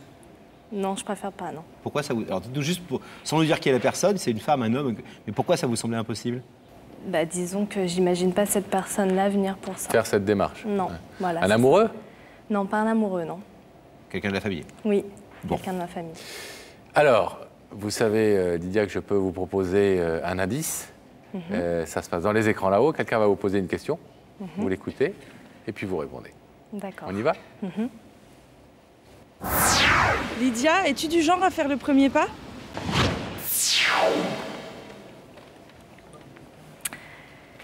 Euh, non. Non. Non, je suis pas du genre à faire le premier pas. Je suis assez réservée, timide et, et non, je je ferai pas le premier pas, non. Ça vous aide l'indice? Ça vous confirme? Mm. Ça vous met sur une voie? Non, pas vraiment. Non, Non? Non, Toujours pas un amoureux, à votre avis? Le Non, je premier pense pas, pas, non. j'aimerais qu'elle fasse le premier pas, non? Non. non, Arrête de je pense chanter. pas. je pense pas. Non.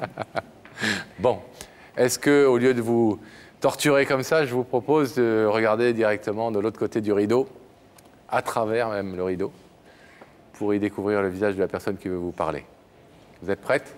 Oui, je suis prête. Alors Lydia, fixez ses écrans et vous allez y découvrir ce visage.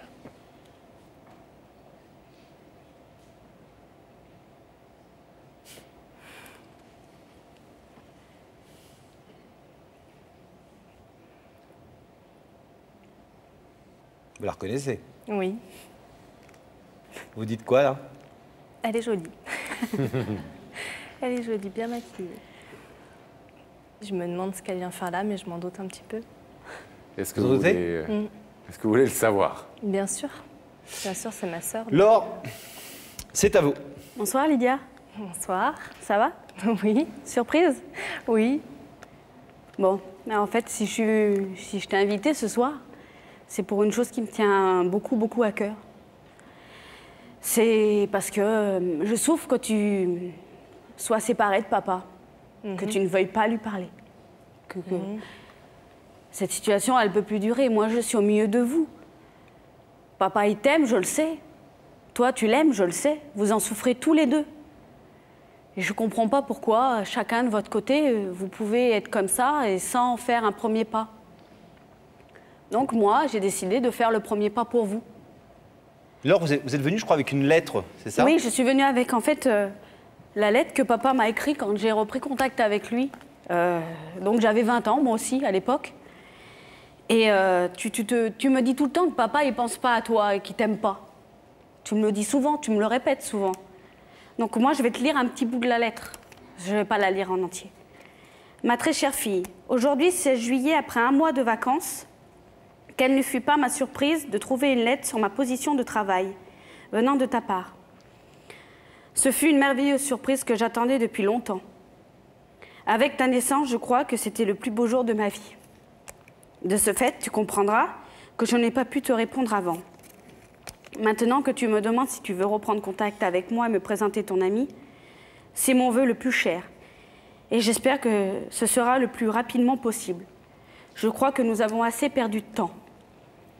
Tu ne peux pas savoir le nombre de jours, de mois et d'années que j'ai pensé à toi et à ta sœur Lydia. Malheureusement pour elle, je crois qu'il va falloir attendre encore un peu. Elle n'est pas encore assez grande pour prendre la décision elle-même. Alors cette lettre, eh ben, il me l'a écrit il y a 5 ans. Maintenant, je pense que tu as 20 ans. Et je pense que maintenant, c'est à, as l'âge de pouvoir prendre ta vie en main et de pouvoir rattraper peut-être les erreurs qu'on a faites. Je sais ce qui s'est passé plus- il y a longtemps, on ne peut pas euh, plus y penser. Mais maintenant, c'est le moment de raccommoder les choses et de vivre tous les trois. Parce qu'on a papa et on est deux sœurs. Nous, on vit comme deux sœurs, mais on ne vit pas avec papa. Et il faut qu'on vive tous les trois maintenant. Même si on est séparés par des kilomètres, toi, tu habites à côté. Ça serait peut-être plus facile à lui que moi- comme moi, je suis loin. S'il avait une de ses filles près de lui, ça serait plus facile. Et en fait, moi, cette démarche, étant donné que vous deux, vous ne pouvez pas la faire, je l'ai fait pour vous. Et papa est là, à côté de moi. Il est monté, tu vois. Il ne savait pas pourquoi, mais il est venu quand même. Et quand il, tout à l'heure, euh, ils lui ont demandé pourquoi il était venu, il a bien pensé que c'était toi qui l'invitait. Bon, il a été un peu surpris que ce soit moi. Donc voilà. Je sais que ça fait très longtemps, Lydia. Mais bon, les choses, elles sont ce qu'elles sont maintenant. Mais on a papa, on a encore un papa. On va pas attendre encore dix ans. Dix ans avec des fêtes de famille qui n'en sont pas parce que chacun est dans son coin et ne se parle pas. Tu vas peut-être te marier et tout. Tu, tu... Maintenant, on peut pas. euh, Moi, j'étais très contente d'avoir papa à mon mariage.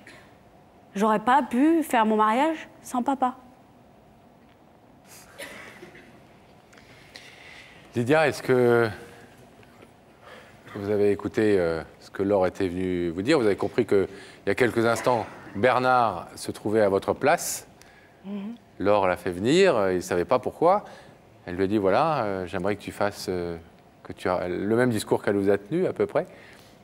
Et est-ce que tu acceptes de faire le premier pas vis-à-vis de Lydia et de te retrouver à mes côtés dans quelques instants Sans pour l'instant euh, donner une réponse euh, à ça, il faut que vous acceptiez d'écouter Bernard.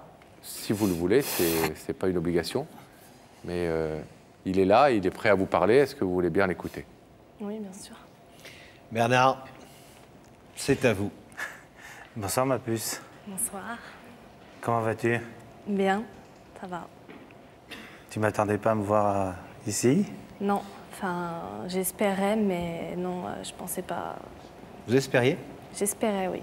C'était de. Bernard dont vous disiez que vous ne Voilà. pensiez pas qu'il en soit capable. tout à capable fait. au sens, enfin en tout cas que ce soit sa, sa méthode. Voilà, tout à fait, c'est ça. Tu es magnifique, tu sais. Merci.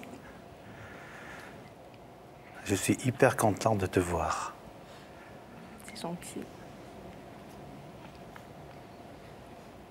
Allez Bernard, faut y aller. Ah oui. faut vous les- faut Mais laisser sortir ce Il y, a- qui il y a des choses à dire, euh, je préférerais les dire euh, entre nous. Peut-être au moins quand même expliquer à Lydia à quel point c'est important pour vous. euh, Ah ben moi, oui, j'espère qu'elle ouvrira le rideau. Il est aussi stressé que vous, hein, votre père. Ah oui, hein, oui, euh, oui, tout à fait. Les mots me, me- ne Vous sortent pas. hein. Touché? Très touchée. Très touchée, oui. Est-ce qu'avant de nous donner votre décision, Lydia, vous avez une, une question à poser à Bernard ou alors Est-ce que vous voulez en savoir un tout petit peu plus pour prendre votre décision ou vous l'avez déjà dans votre tête? Non, je verrai ça après. Non, j'ai pas de questions. euh. Non, non, j'ai j'ai déjà la réponse hein, dans ma tête. Alors, je vais vous demander, pour donner votre réponse selon les formes de l'émission, de vous lever, s'il vous plaît. Ici, face au rideau. Lydia, il y a de l'autre côté de ce rideau votre sœur Laure et votre père Bernard, euh, avec qui euh, vous n'entretenez quasiment plus aucune relation depuis une dizaine d'années. Bernard a accepté la demande de Laure, c'est-à-dire d'être celui qui, ferait le premier pas, qui se retrouverait de l'autre côté de ce rideau pour vous tendre la main. Vous pouvez accepter cette main tendue, vous pouvez aussi laisser ce rideau fermé puisqu'il l'est dans la vie jusqu'à maintenant. Qu'est-ce que vous décidez? Non, je l'ouvre le rideau. Allez les rejoindre.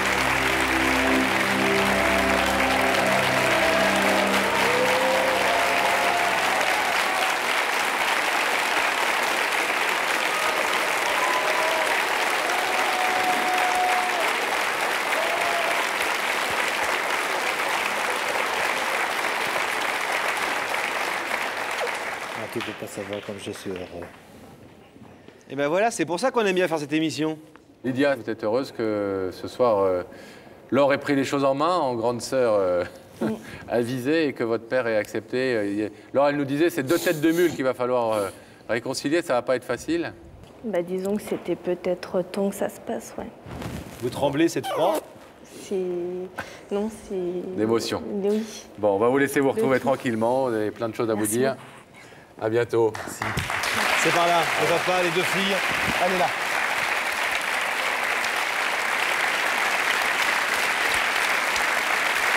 Vous le savez, nous avons très régulièrement sur ce plateau des problèmes de belles-filles, de belles-mères, de beaux-fils, de bruit, de gendre, etc. Mais voilà, euh, pour une fois, Nathalie, une jeune femme, était venue demander pardon à sa belle-mère, André, à qui elle avait fait quelques misères. Oui, il y avait eu une grosse dispute entre les deux femmes. Euh, en fait, euh, André, la belle-mère, avait euh, eu des informations sur lesquelles Nathalie euh, faisait des dépenses inconsidérées. Elle avait prévenu son fils. euh, Nathalie l'avait très mal pris. Bref, les deux femmes se sont disputées violemment. Elles ne se parlaient plus. Nathalie a fait le premier pas. André a ouvert le rideau. Où en sont-elles maintenant? Sont-elles totalement réconciliées? La réponse. Nathalie ou l'histoire d'une vie heureuse, ponctuée depuis peu de conflits et d'incompréhensions. Nathalie, jeune femme de 27 ans qui se souvient avec nostalgie d'un temps révolu. Alors qu'elle avait 18 ans, Nathalie rencontre l'homme de sa vie, Richard. Ils s'aiment d'un amour sans nuage et décident de se marier. Joie partagée à deux mais aussi à trois. Nathalie s'entend à merveille avec la maman de Richard, André, et fait ainsi mentir les idées préconçues. Toute une famille où le bonheur semble vouloir s'être installé à tout jamais. Mais la confiance est un sentiment fragile. André apprend que Nathalie a des soucis financiers par une de ses cousines et s'empresse sans preuve de mettre en garde son fils. Nathalie s'en rend compte et se sent trahie par celle qu'elle aime comme sa deuxième maman. Nathalie s'emporte et ses mots dépassent vite sa pensée. Richard se sent alors tiraillé par son amour pour les deux femmes de sa vie, André et Nathalie, une union qui semble désormais impossible.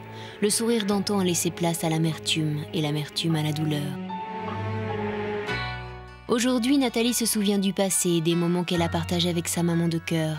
Elle regrette les mots que la colère lui a soufflés et qui ont tant fait souffrir André. Nathalie sait que le bonheur est éphémère, alors avant qu'il ne soit trop tard, elle veut le rattraper et lui demander pardon de t'avoir blessé. C'est avec les yeux pleins d'amour que Nathalie regarde désormais vers l'avenir, et l'avenir, c'est aussi avec André qu'elle l'envisage. Ce soir, une jeune femme veut se réconcilier avec sa belle-mère et oublier ce qui les a éloignés. André acceptera-t-elle de renouer les liens avec Nathalie? Qu'est-ce qui vous fait euh, verser ces larmes? Bah, un peu de tout en fait. Un peu de tout?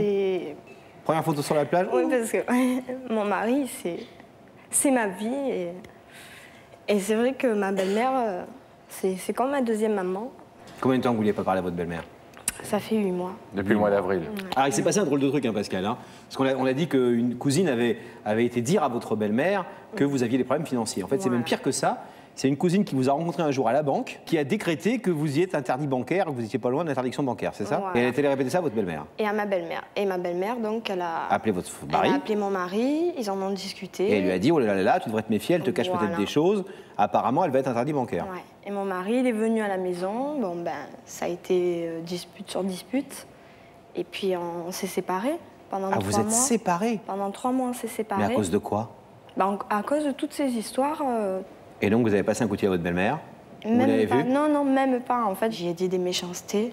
J'ai euh, j'ai été euh, jusqu'aux insultes. euh. Donc, c'est pour ça que, bon, ben, Et alors, votre mari et vous, séparation séparation pendant trois mois. Donc, après, on s'est on s'est remis ensemble. Tout allait bien. euh. mais bon, mon mari en souffrait que ben, lui, il allait rarement voir sa mère. Depuis que moi, j'y allais plus avec lui, il y allait moins. Et il souffrait. Mais si vous, dites, si vous avez des choses terribles sur elle, vous avez trahi sa confiance, trahi des secrets, etc., vous avez dû Bah, faire beaucoup de mal, ouais. il y a de fortes chances qu'elle ouvre pas le rideau ce soir. Oui, mais je me suis fait à l'idée. Mais bon, au moins j'aurais tenté.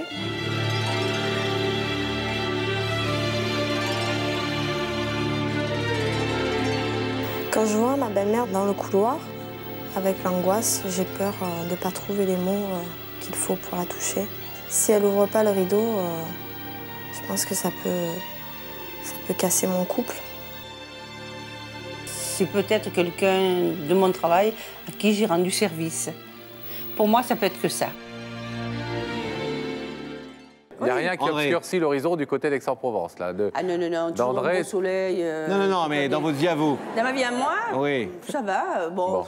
j'ai un petit souci. Avec, Avec qui, euh, Richard? Oh, non. Non, avec- avec la femme hein, de Richard. Elle a été vilaine avec moi. vous en êtes encore toute... euh, Non, mais... Parce que vous, attendez, quand euh. vous faites rire tout le monde depuis le début, on croit que vous... Mais non, mais elle est- vous êtes sincèrement touchée, là. Vous êtes encore toute bouleversée de... Beaucoup.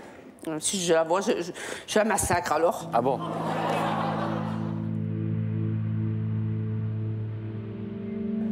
Oh, c'est ma belle-fille. C'est la vilaine. M'appelle la vilaine, même si elle dit ça en souriant. Au fond de son cœur, euh, je sens qu'elle m'en veut encore beaucoup, qu'elle m'a pas pardonné. Quand je vois Nathalie dans l'écran, je suis énervée, fâchée, parce que j'avais demandé à mon fils, et mon fils m'avait dit non, que c'était pas Nathalie, et je ne supporte pas le mensonge. Alors belle maman, me- merci d'être venue. Et euh, je voulais vous dire pardon.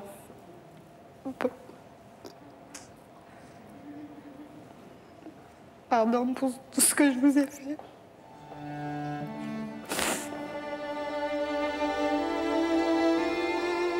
Quand Nathalie me fait cette déclaration, euh, elle me fait beaucoup de peine, et je pense qu'elle est sincère.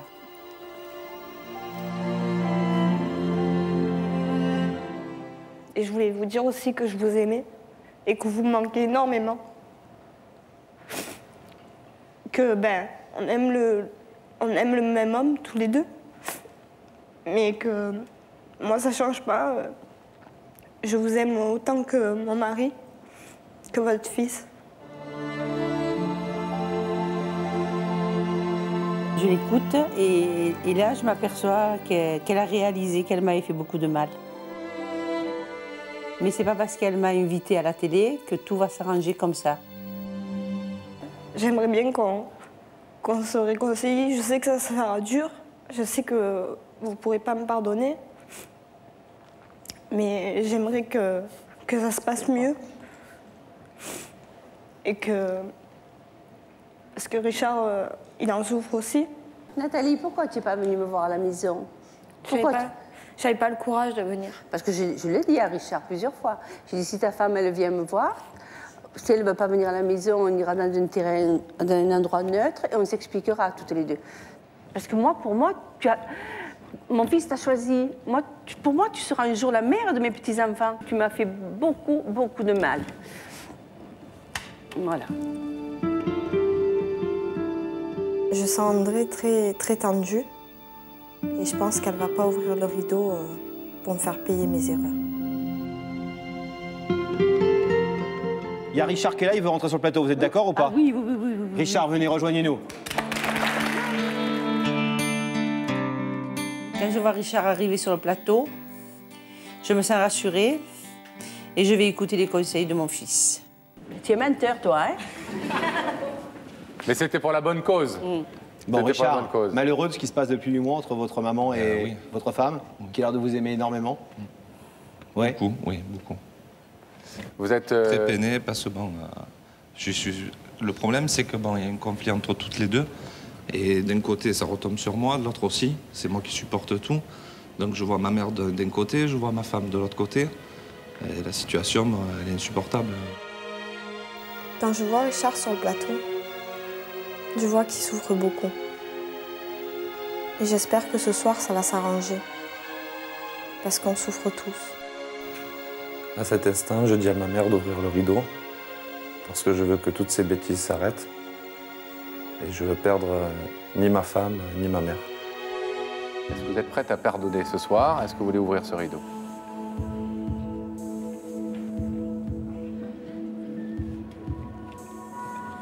Et dire oui.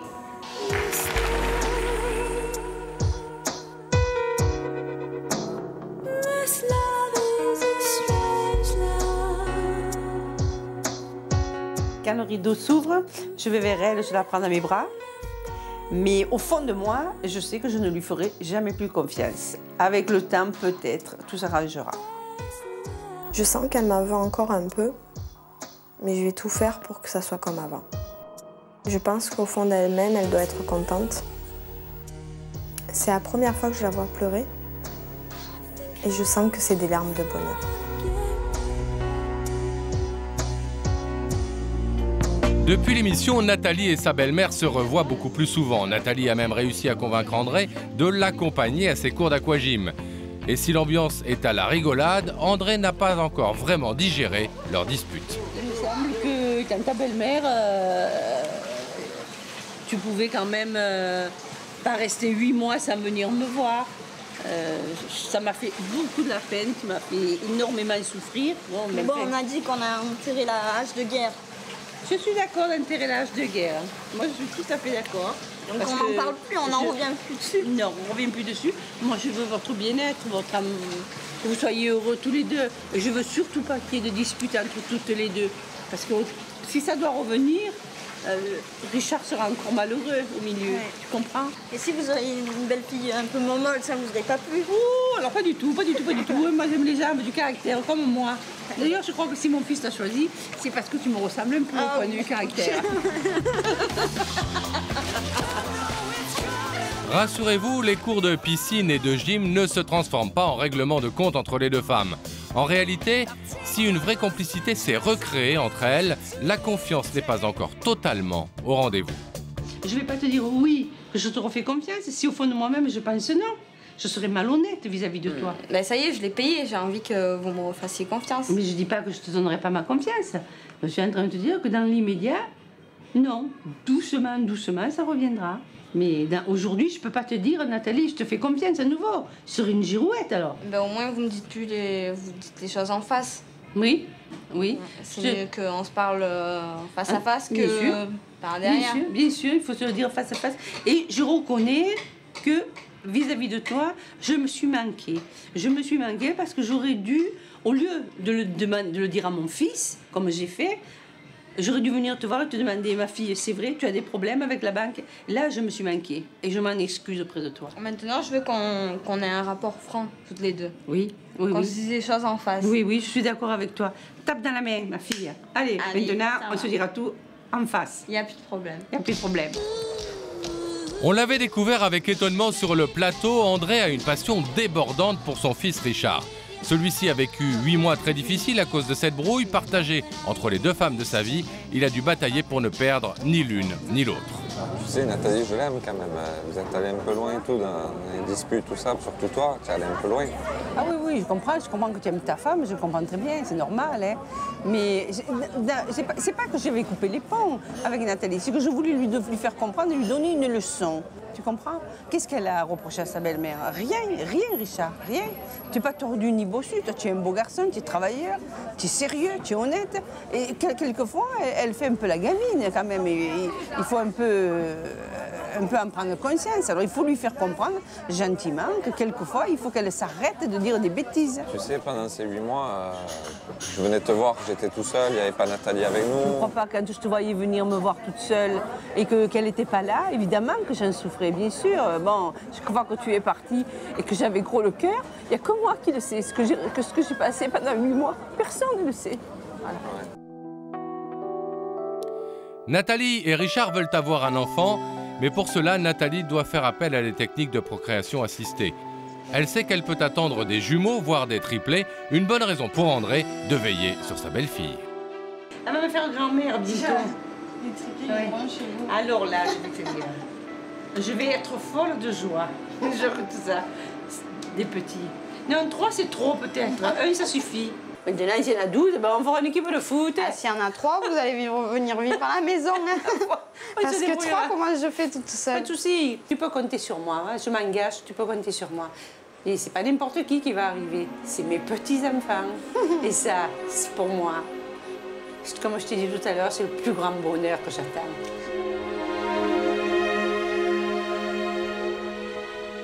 Pour Nathalie, désormais, le dîner chez la belle-mère est redevenu un plaisir. Mais attention, les vieux démons guettent toujours. Pas bien de se retrouver en famille, là, tous ensemble, unis. Hein Oui, c'est sûr que ça fait du bien de se retrouver. Je vais te dire, ma fille, hein, prends bien soin surtout de mon fils. Hein. Il faut bien, bien que tu t'en occupes, parce que si tu ne t'occupes pas bien, ça va te retomber dessus, ma fille. hein. Encore? Plus Allez, on les filles, on arrête plus l'histoire, on va dire. On arrête. Une chose est sûre, avec ces deux caractères, les proches ne risquent pas de s'ennuyer. Mais entre André et sa belle-fille, le rideau semble bien s'être ouvert pour toujours. C'est une jeune femme, Laurent, qui vient maintenant dire une vérité importante pour elle, évidemment, sur ce plateau. Une jeune femme amoureuse, elle s'appelle Angélique, mesdames et messieurs.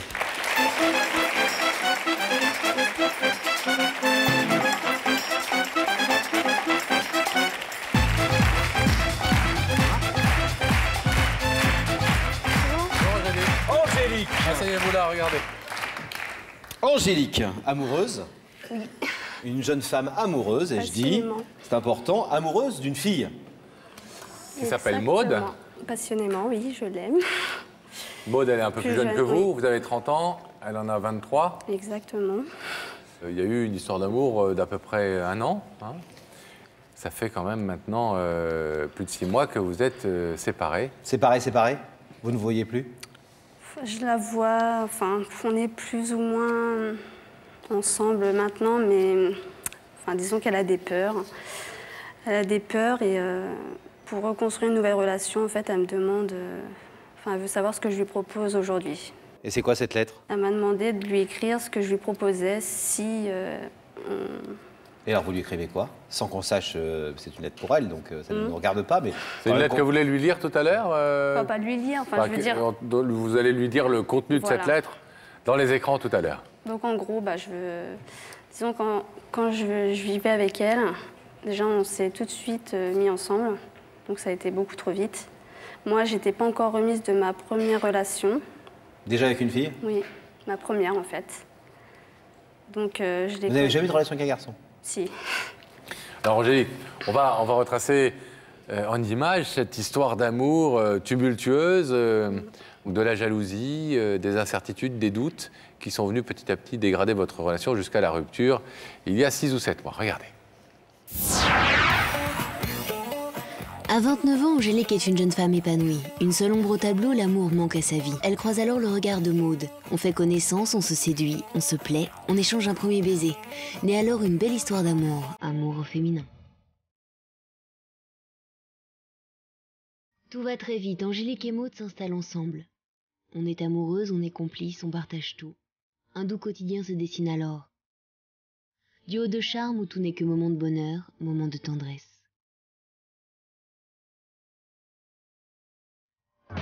Mais le doute finit par gagner le cœur de Maude. Elle reproche à Angélique de ne pas lui dévoiler ses sentiments. Elle est jalouse de son ex-petite amie et devient suspicieuse. La belle histoire se ternit, place au conflit et au manque de dialogue. C'en est trop pour Maude. Elle décide de mettre un point final à leur histoire d'amour. Angélique, entre remords et regrets, n'envisage pas de vivre aujourd'hui sa vie sans Maude à ses côtés. Elle a su lui prouver combien elle comptait pour elle. Alors ce soir, elle veut faire taire ses doutes et lui demander de s'engager, et cette fois-ci pour la vie. Maud sera-t-elle sensible à sa demande?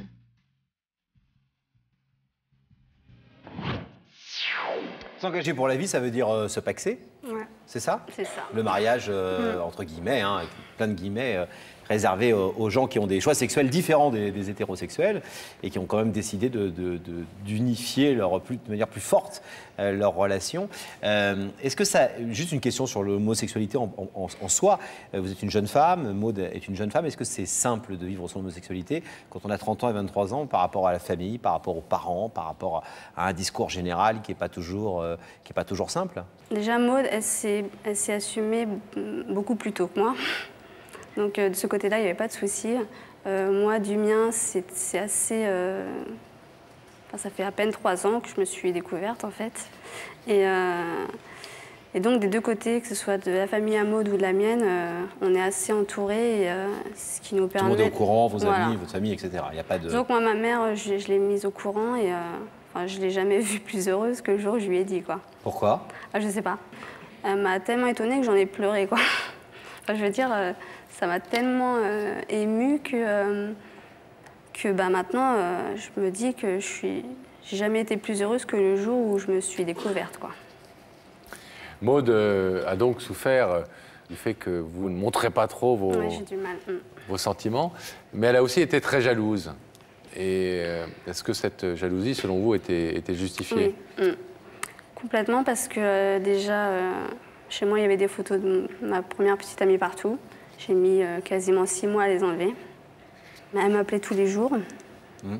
Et moi, enfin, disons que moi, j'ai pas aidé. J'ai, j'ai pas aidé. Quoi. C'était à moi de, de mettre des barrières. C'était à moi de bloquer euh, la correspondance avec mon ex, qui était beaucoup trop. euh, enfin, Trop j'ai- présente encore. Voilà, Vous n'avez pas rassuré. Maud, vous n'avez Non. pas, vous n'avez pas incité voyais- à avoir confiance. Voilà. Et puis, plus elle me demandait que je la sorte de ma vie, plus, euh, plus je faisais l'inverse, en fait. Et c'est simplement quand euh, Maud est partie que vous vous êtes Ouais. rendu compte que vous l'aimiez vous aussi euh, réellement et que, que c'était quelqu'un de capital, d'essentiel dans votre vie. Quand j'ai appris qu'elle avait. euh, peu de temps après moi, elle, s'était retrouvée quelqu'un, j'ai- j'étais. euh, enfin, ça m'a achevé, quoi. Mm. Je me suis dit, elle, elle m'a zappé Elle de sa vie. remplacé aussi voilà, vite, quoi. aussi rapidement. Et je me suis dit, bah voilà, bah, allez, moi aussi, je vais sortir tous les week-ends. Et tous les week-ends pendant sept mois, j'ai- je suis sortie. Voilà, pour. euh, Bah, elle m'a oublié, je vais l'oublier aussi. Bah non, j'ai pas réussi. Je veux dire, et, elle non plus, cela dit, n'a pas réussi vraiment à vous oublier. Bah pas vraiment, parce que apparemment c'était pas très. euh, c'était Pas très fort. Voilà. Et, euh, et moi j'ai même pas pu commencer une relation. Alors, euh, on est allé inviter Maude. C'est Daphné qui s'en est chargée et qui est allée à sa rencontre. Donc vous allez pouvoir, vous qui nous regardez, découvrir Maude en images. Regardez.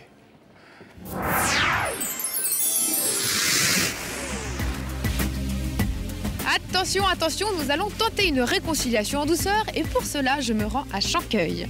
Angélique, vous reconnaissez peut-être le quartier, je ne suis pas très loin du domicile de Maude.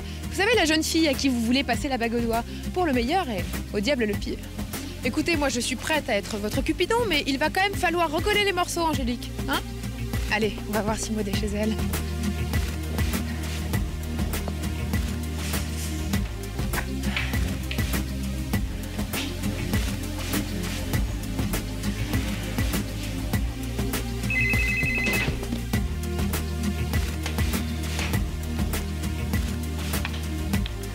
Bonjour Maude. Bonjour, je suis Daphné de l'émission Y'a que la vérité qui compte. J'ai une invitation à vous donner, est-ce que je peux monter? Vous êtes à quel étage? Dixième? Deuxième? D'accord, merci.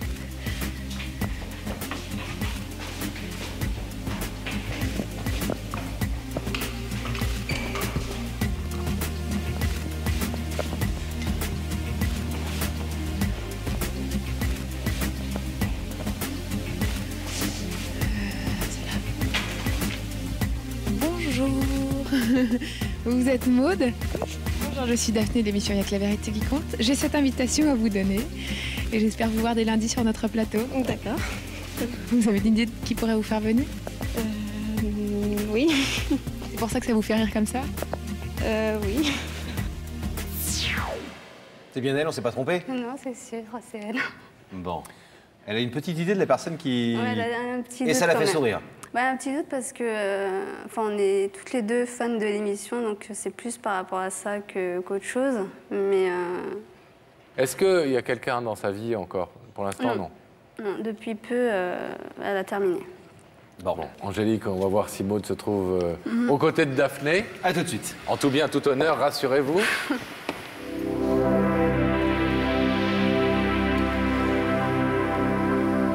Le rideau se referme. Et on rétablit la connexion avec euh, la loge où Daphné doit se trouver normalement aux côtés d'une charmante jeune femme. Maud, bonsoir. Je- Alors vous, Maud, vous faites plein de trucs. Vous êtes agent hospitalier, vous êtes euh, bénévole pour la Croix-Rouge, c'est ça? Vous faites du foot, vous faites plein de trucs. Mais alors, qui peut vous faire venir avec tous ces gens que vous voyez à longueur de journée? Beaucoup de gens. Je pense que ça se trouve, c'est quelqu'un que je connais pas, je- ou un petit frère, ou une petite sœur cachée. Ah oui, carrément. Pourquoi pas? D'accord. Vous êtes prêt à rencontrer euh, Ouais, C'est qu'est-ce qui vous fait venir en fait? C'est la curiosité Ouais. Vous pensez que c'est Sam? Ah oui. Hein? Peut-être. Dans un premier temps, c'est lui qui va vous faire venir Ouais, jusqu'au plateau. jusqu'au plateau. Hein? Je vais vous demander de vous lever, moi, s'il vous plaît, de suivre Sam, donc, et la vérité au bout du couloir. Merci.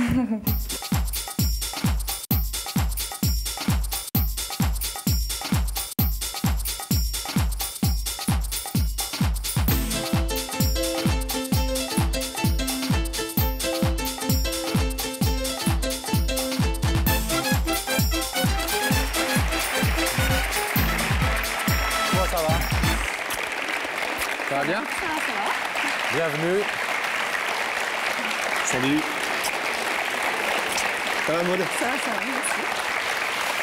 Merci d'être avec nous. Ça va Vous connaissez l'émission Oui, bien sûr. Vous la regardez Oui, tout le temps. Bon. C'est gentil.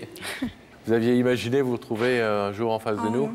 On dit que ça, ça arrive qu'aux autres, mais quand ça nous arrive, c'est vrai que. C'est comme à la télé Euh, oui. Oui, pareil. hein. Mm. Est-ce que vous voulez un petit indice, Maude, pour essayer de deviner, Bien en sûr, savoir un mm. petit peu plus Ouais. Vous savez où ça se passe? Ça se passe là. Ça se passe là, dans les écrans. Quelqu'un va vous poser une question, regardez. Mode, dans quelles circonstances crois-tu qu'il faut laisser le temps au temps Dans quelles circonstances? Laissez un peu de temps aux choses, quoi, ne pas précipiter. Dans quelles circonstances, selon vous? Je pense que. Dans quelle situation?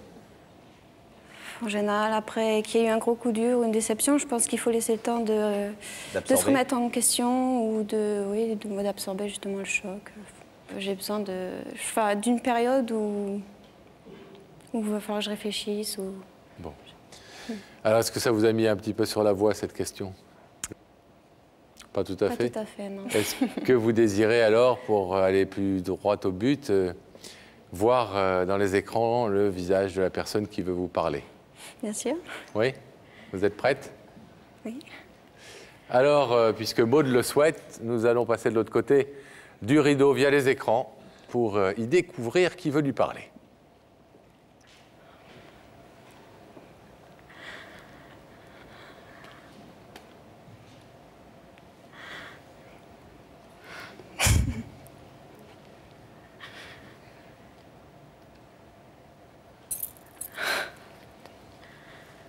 Vous connaissez cette jeune fille Oui. qui veut vous gratter le dos Oui. Oui Oui, tout à fait.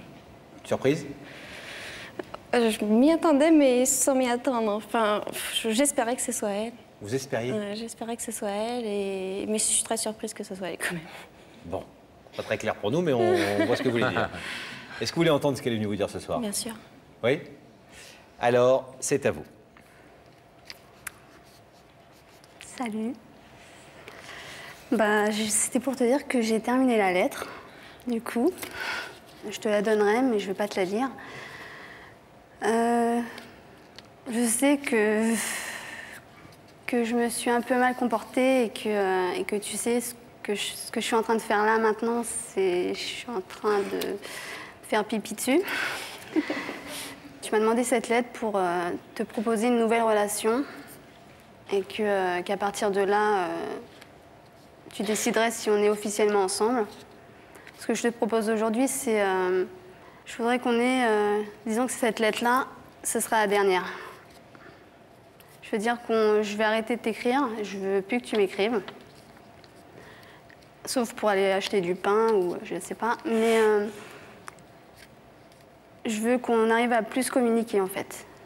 Je veux plus qu'il y ait de, de choses qu'on garde en soi et qu'on extériorise à, la fin et que ça soit trop tard. Notre nouvelle relation, je veux qu'elle soit basée sur, euh, la confiance, l'indépendance aussi, parce que je veux te laisser. euh, je veux pas que tu te mettes de barrières comme tu as fait avant. Je veux pas que tu t'empêches de voir tes amis alors que je, le voulais pas. Maintenant, le sujet tabou qu'il y avait, c'était ma première petite copine et euh, bah, c'est réglé. Euh, plus d'indépendance, de la confiance, la fidélité, ça serait oui. Et, euh, Comme chez nous. et donc en fait, Non, mais euh, vous voyez ce que je veux dire? Et donc euh, bah, qu'on redémarre cette nouvelle relation sur de bonnes bases.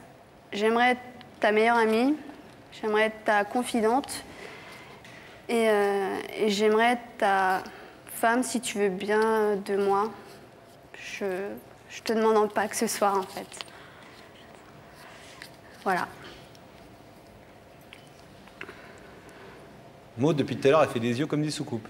elle est comme ça, étonnée par tout ce qu'elle entend. Ah oui, Ému ouais, c'est clair. Des, questions avant, de donner une réponse à Angélique, qui est venue en chercher une évidemment ce soir, mais vous savez que il y a des rituels à respecter dans cette émission, donc vous vous mettrez debout, etc. etc. Mais avant ça, est-ce que vous pouvez nous dire si euh, effectivement vous êtes, euh, vous êtes étonné par les engagements que- qu'elle prend et qu'elle demande, par, euh, tout ce que contient cette, cette démarche? Ben justement, c'est ce à quoi je pensais. C'est vrai que cette nouvelle relation, euh, tout ce qu'elle a cité, c'est ce que c'est là-dessus aussi que je voulais repartir. Maintenant, euh, c'est vrai qu'on a une, un- une première relation qui était assez, c'était assez dur. Enfin, je pense pour elle, au- autant pour elle que pour moi. Et euh, mais euh, c'est vrai que bon, c'est le passé. euh, c'est vrai qu'aujourd'hui, c'est sûr, il faut repartir sur d'autres bases. Vous avez des questions à lui poser par rapport à ce qu'elle vient de dire pour être sûr de, sûr de ses engagements avant de prendre votre décision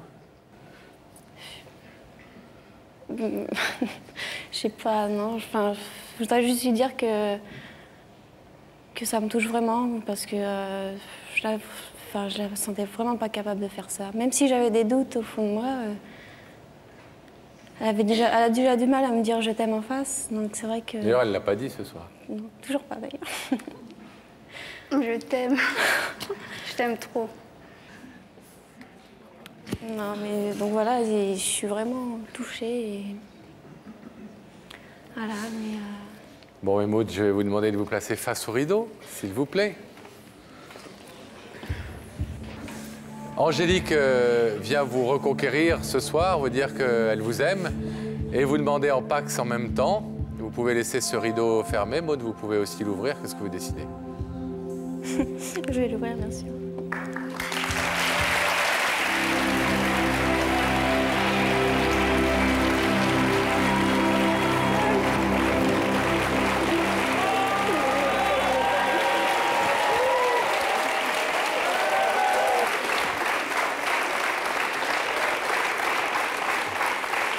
Va mieux, Angélique Soulagée?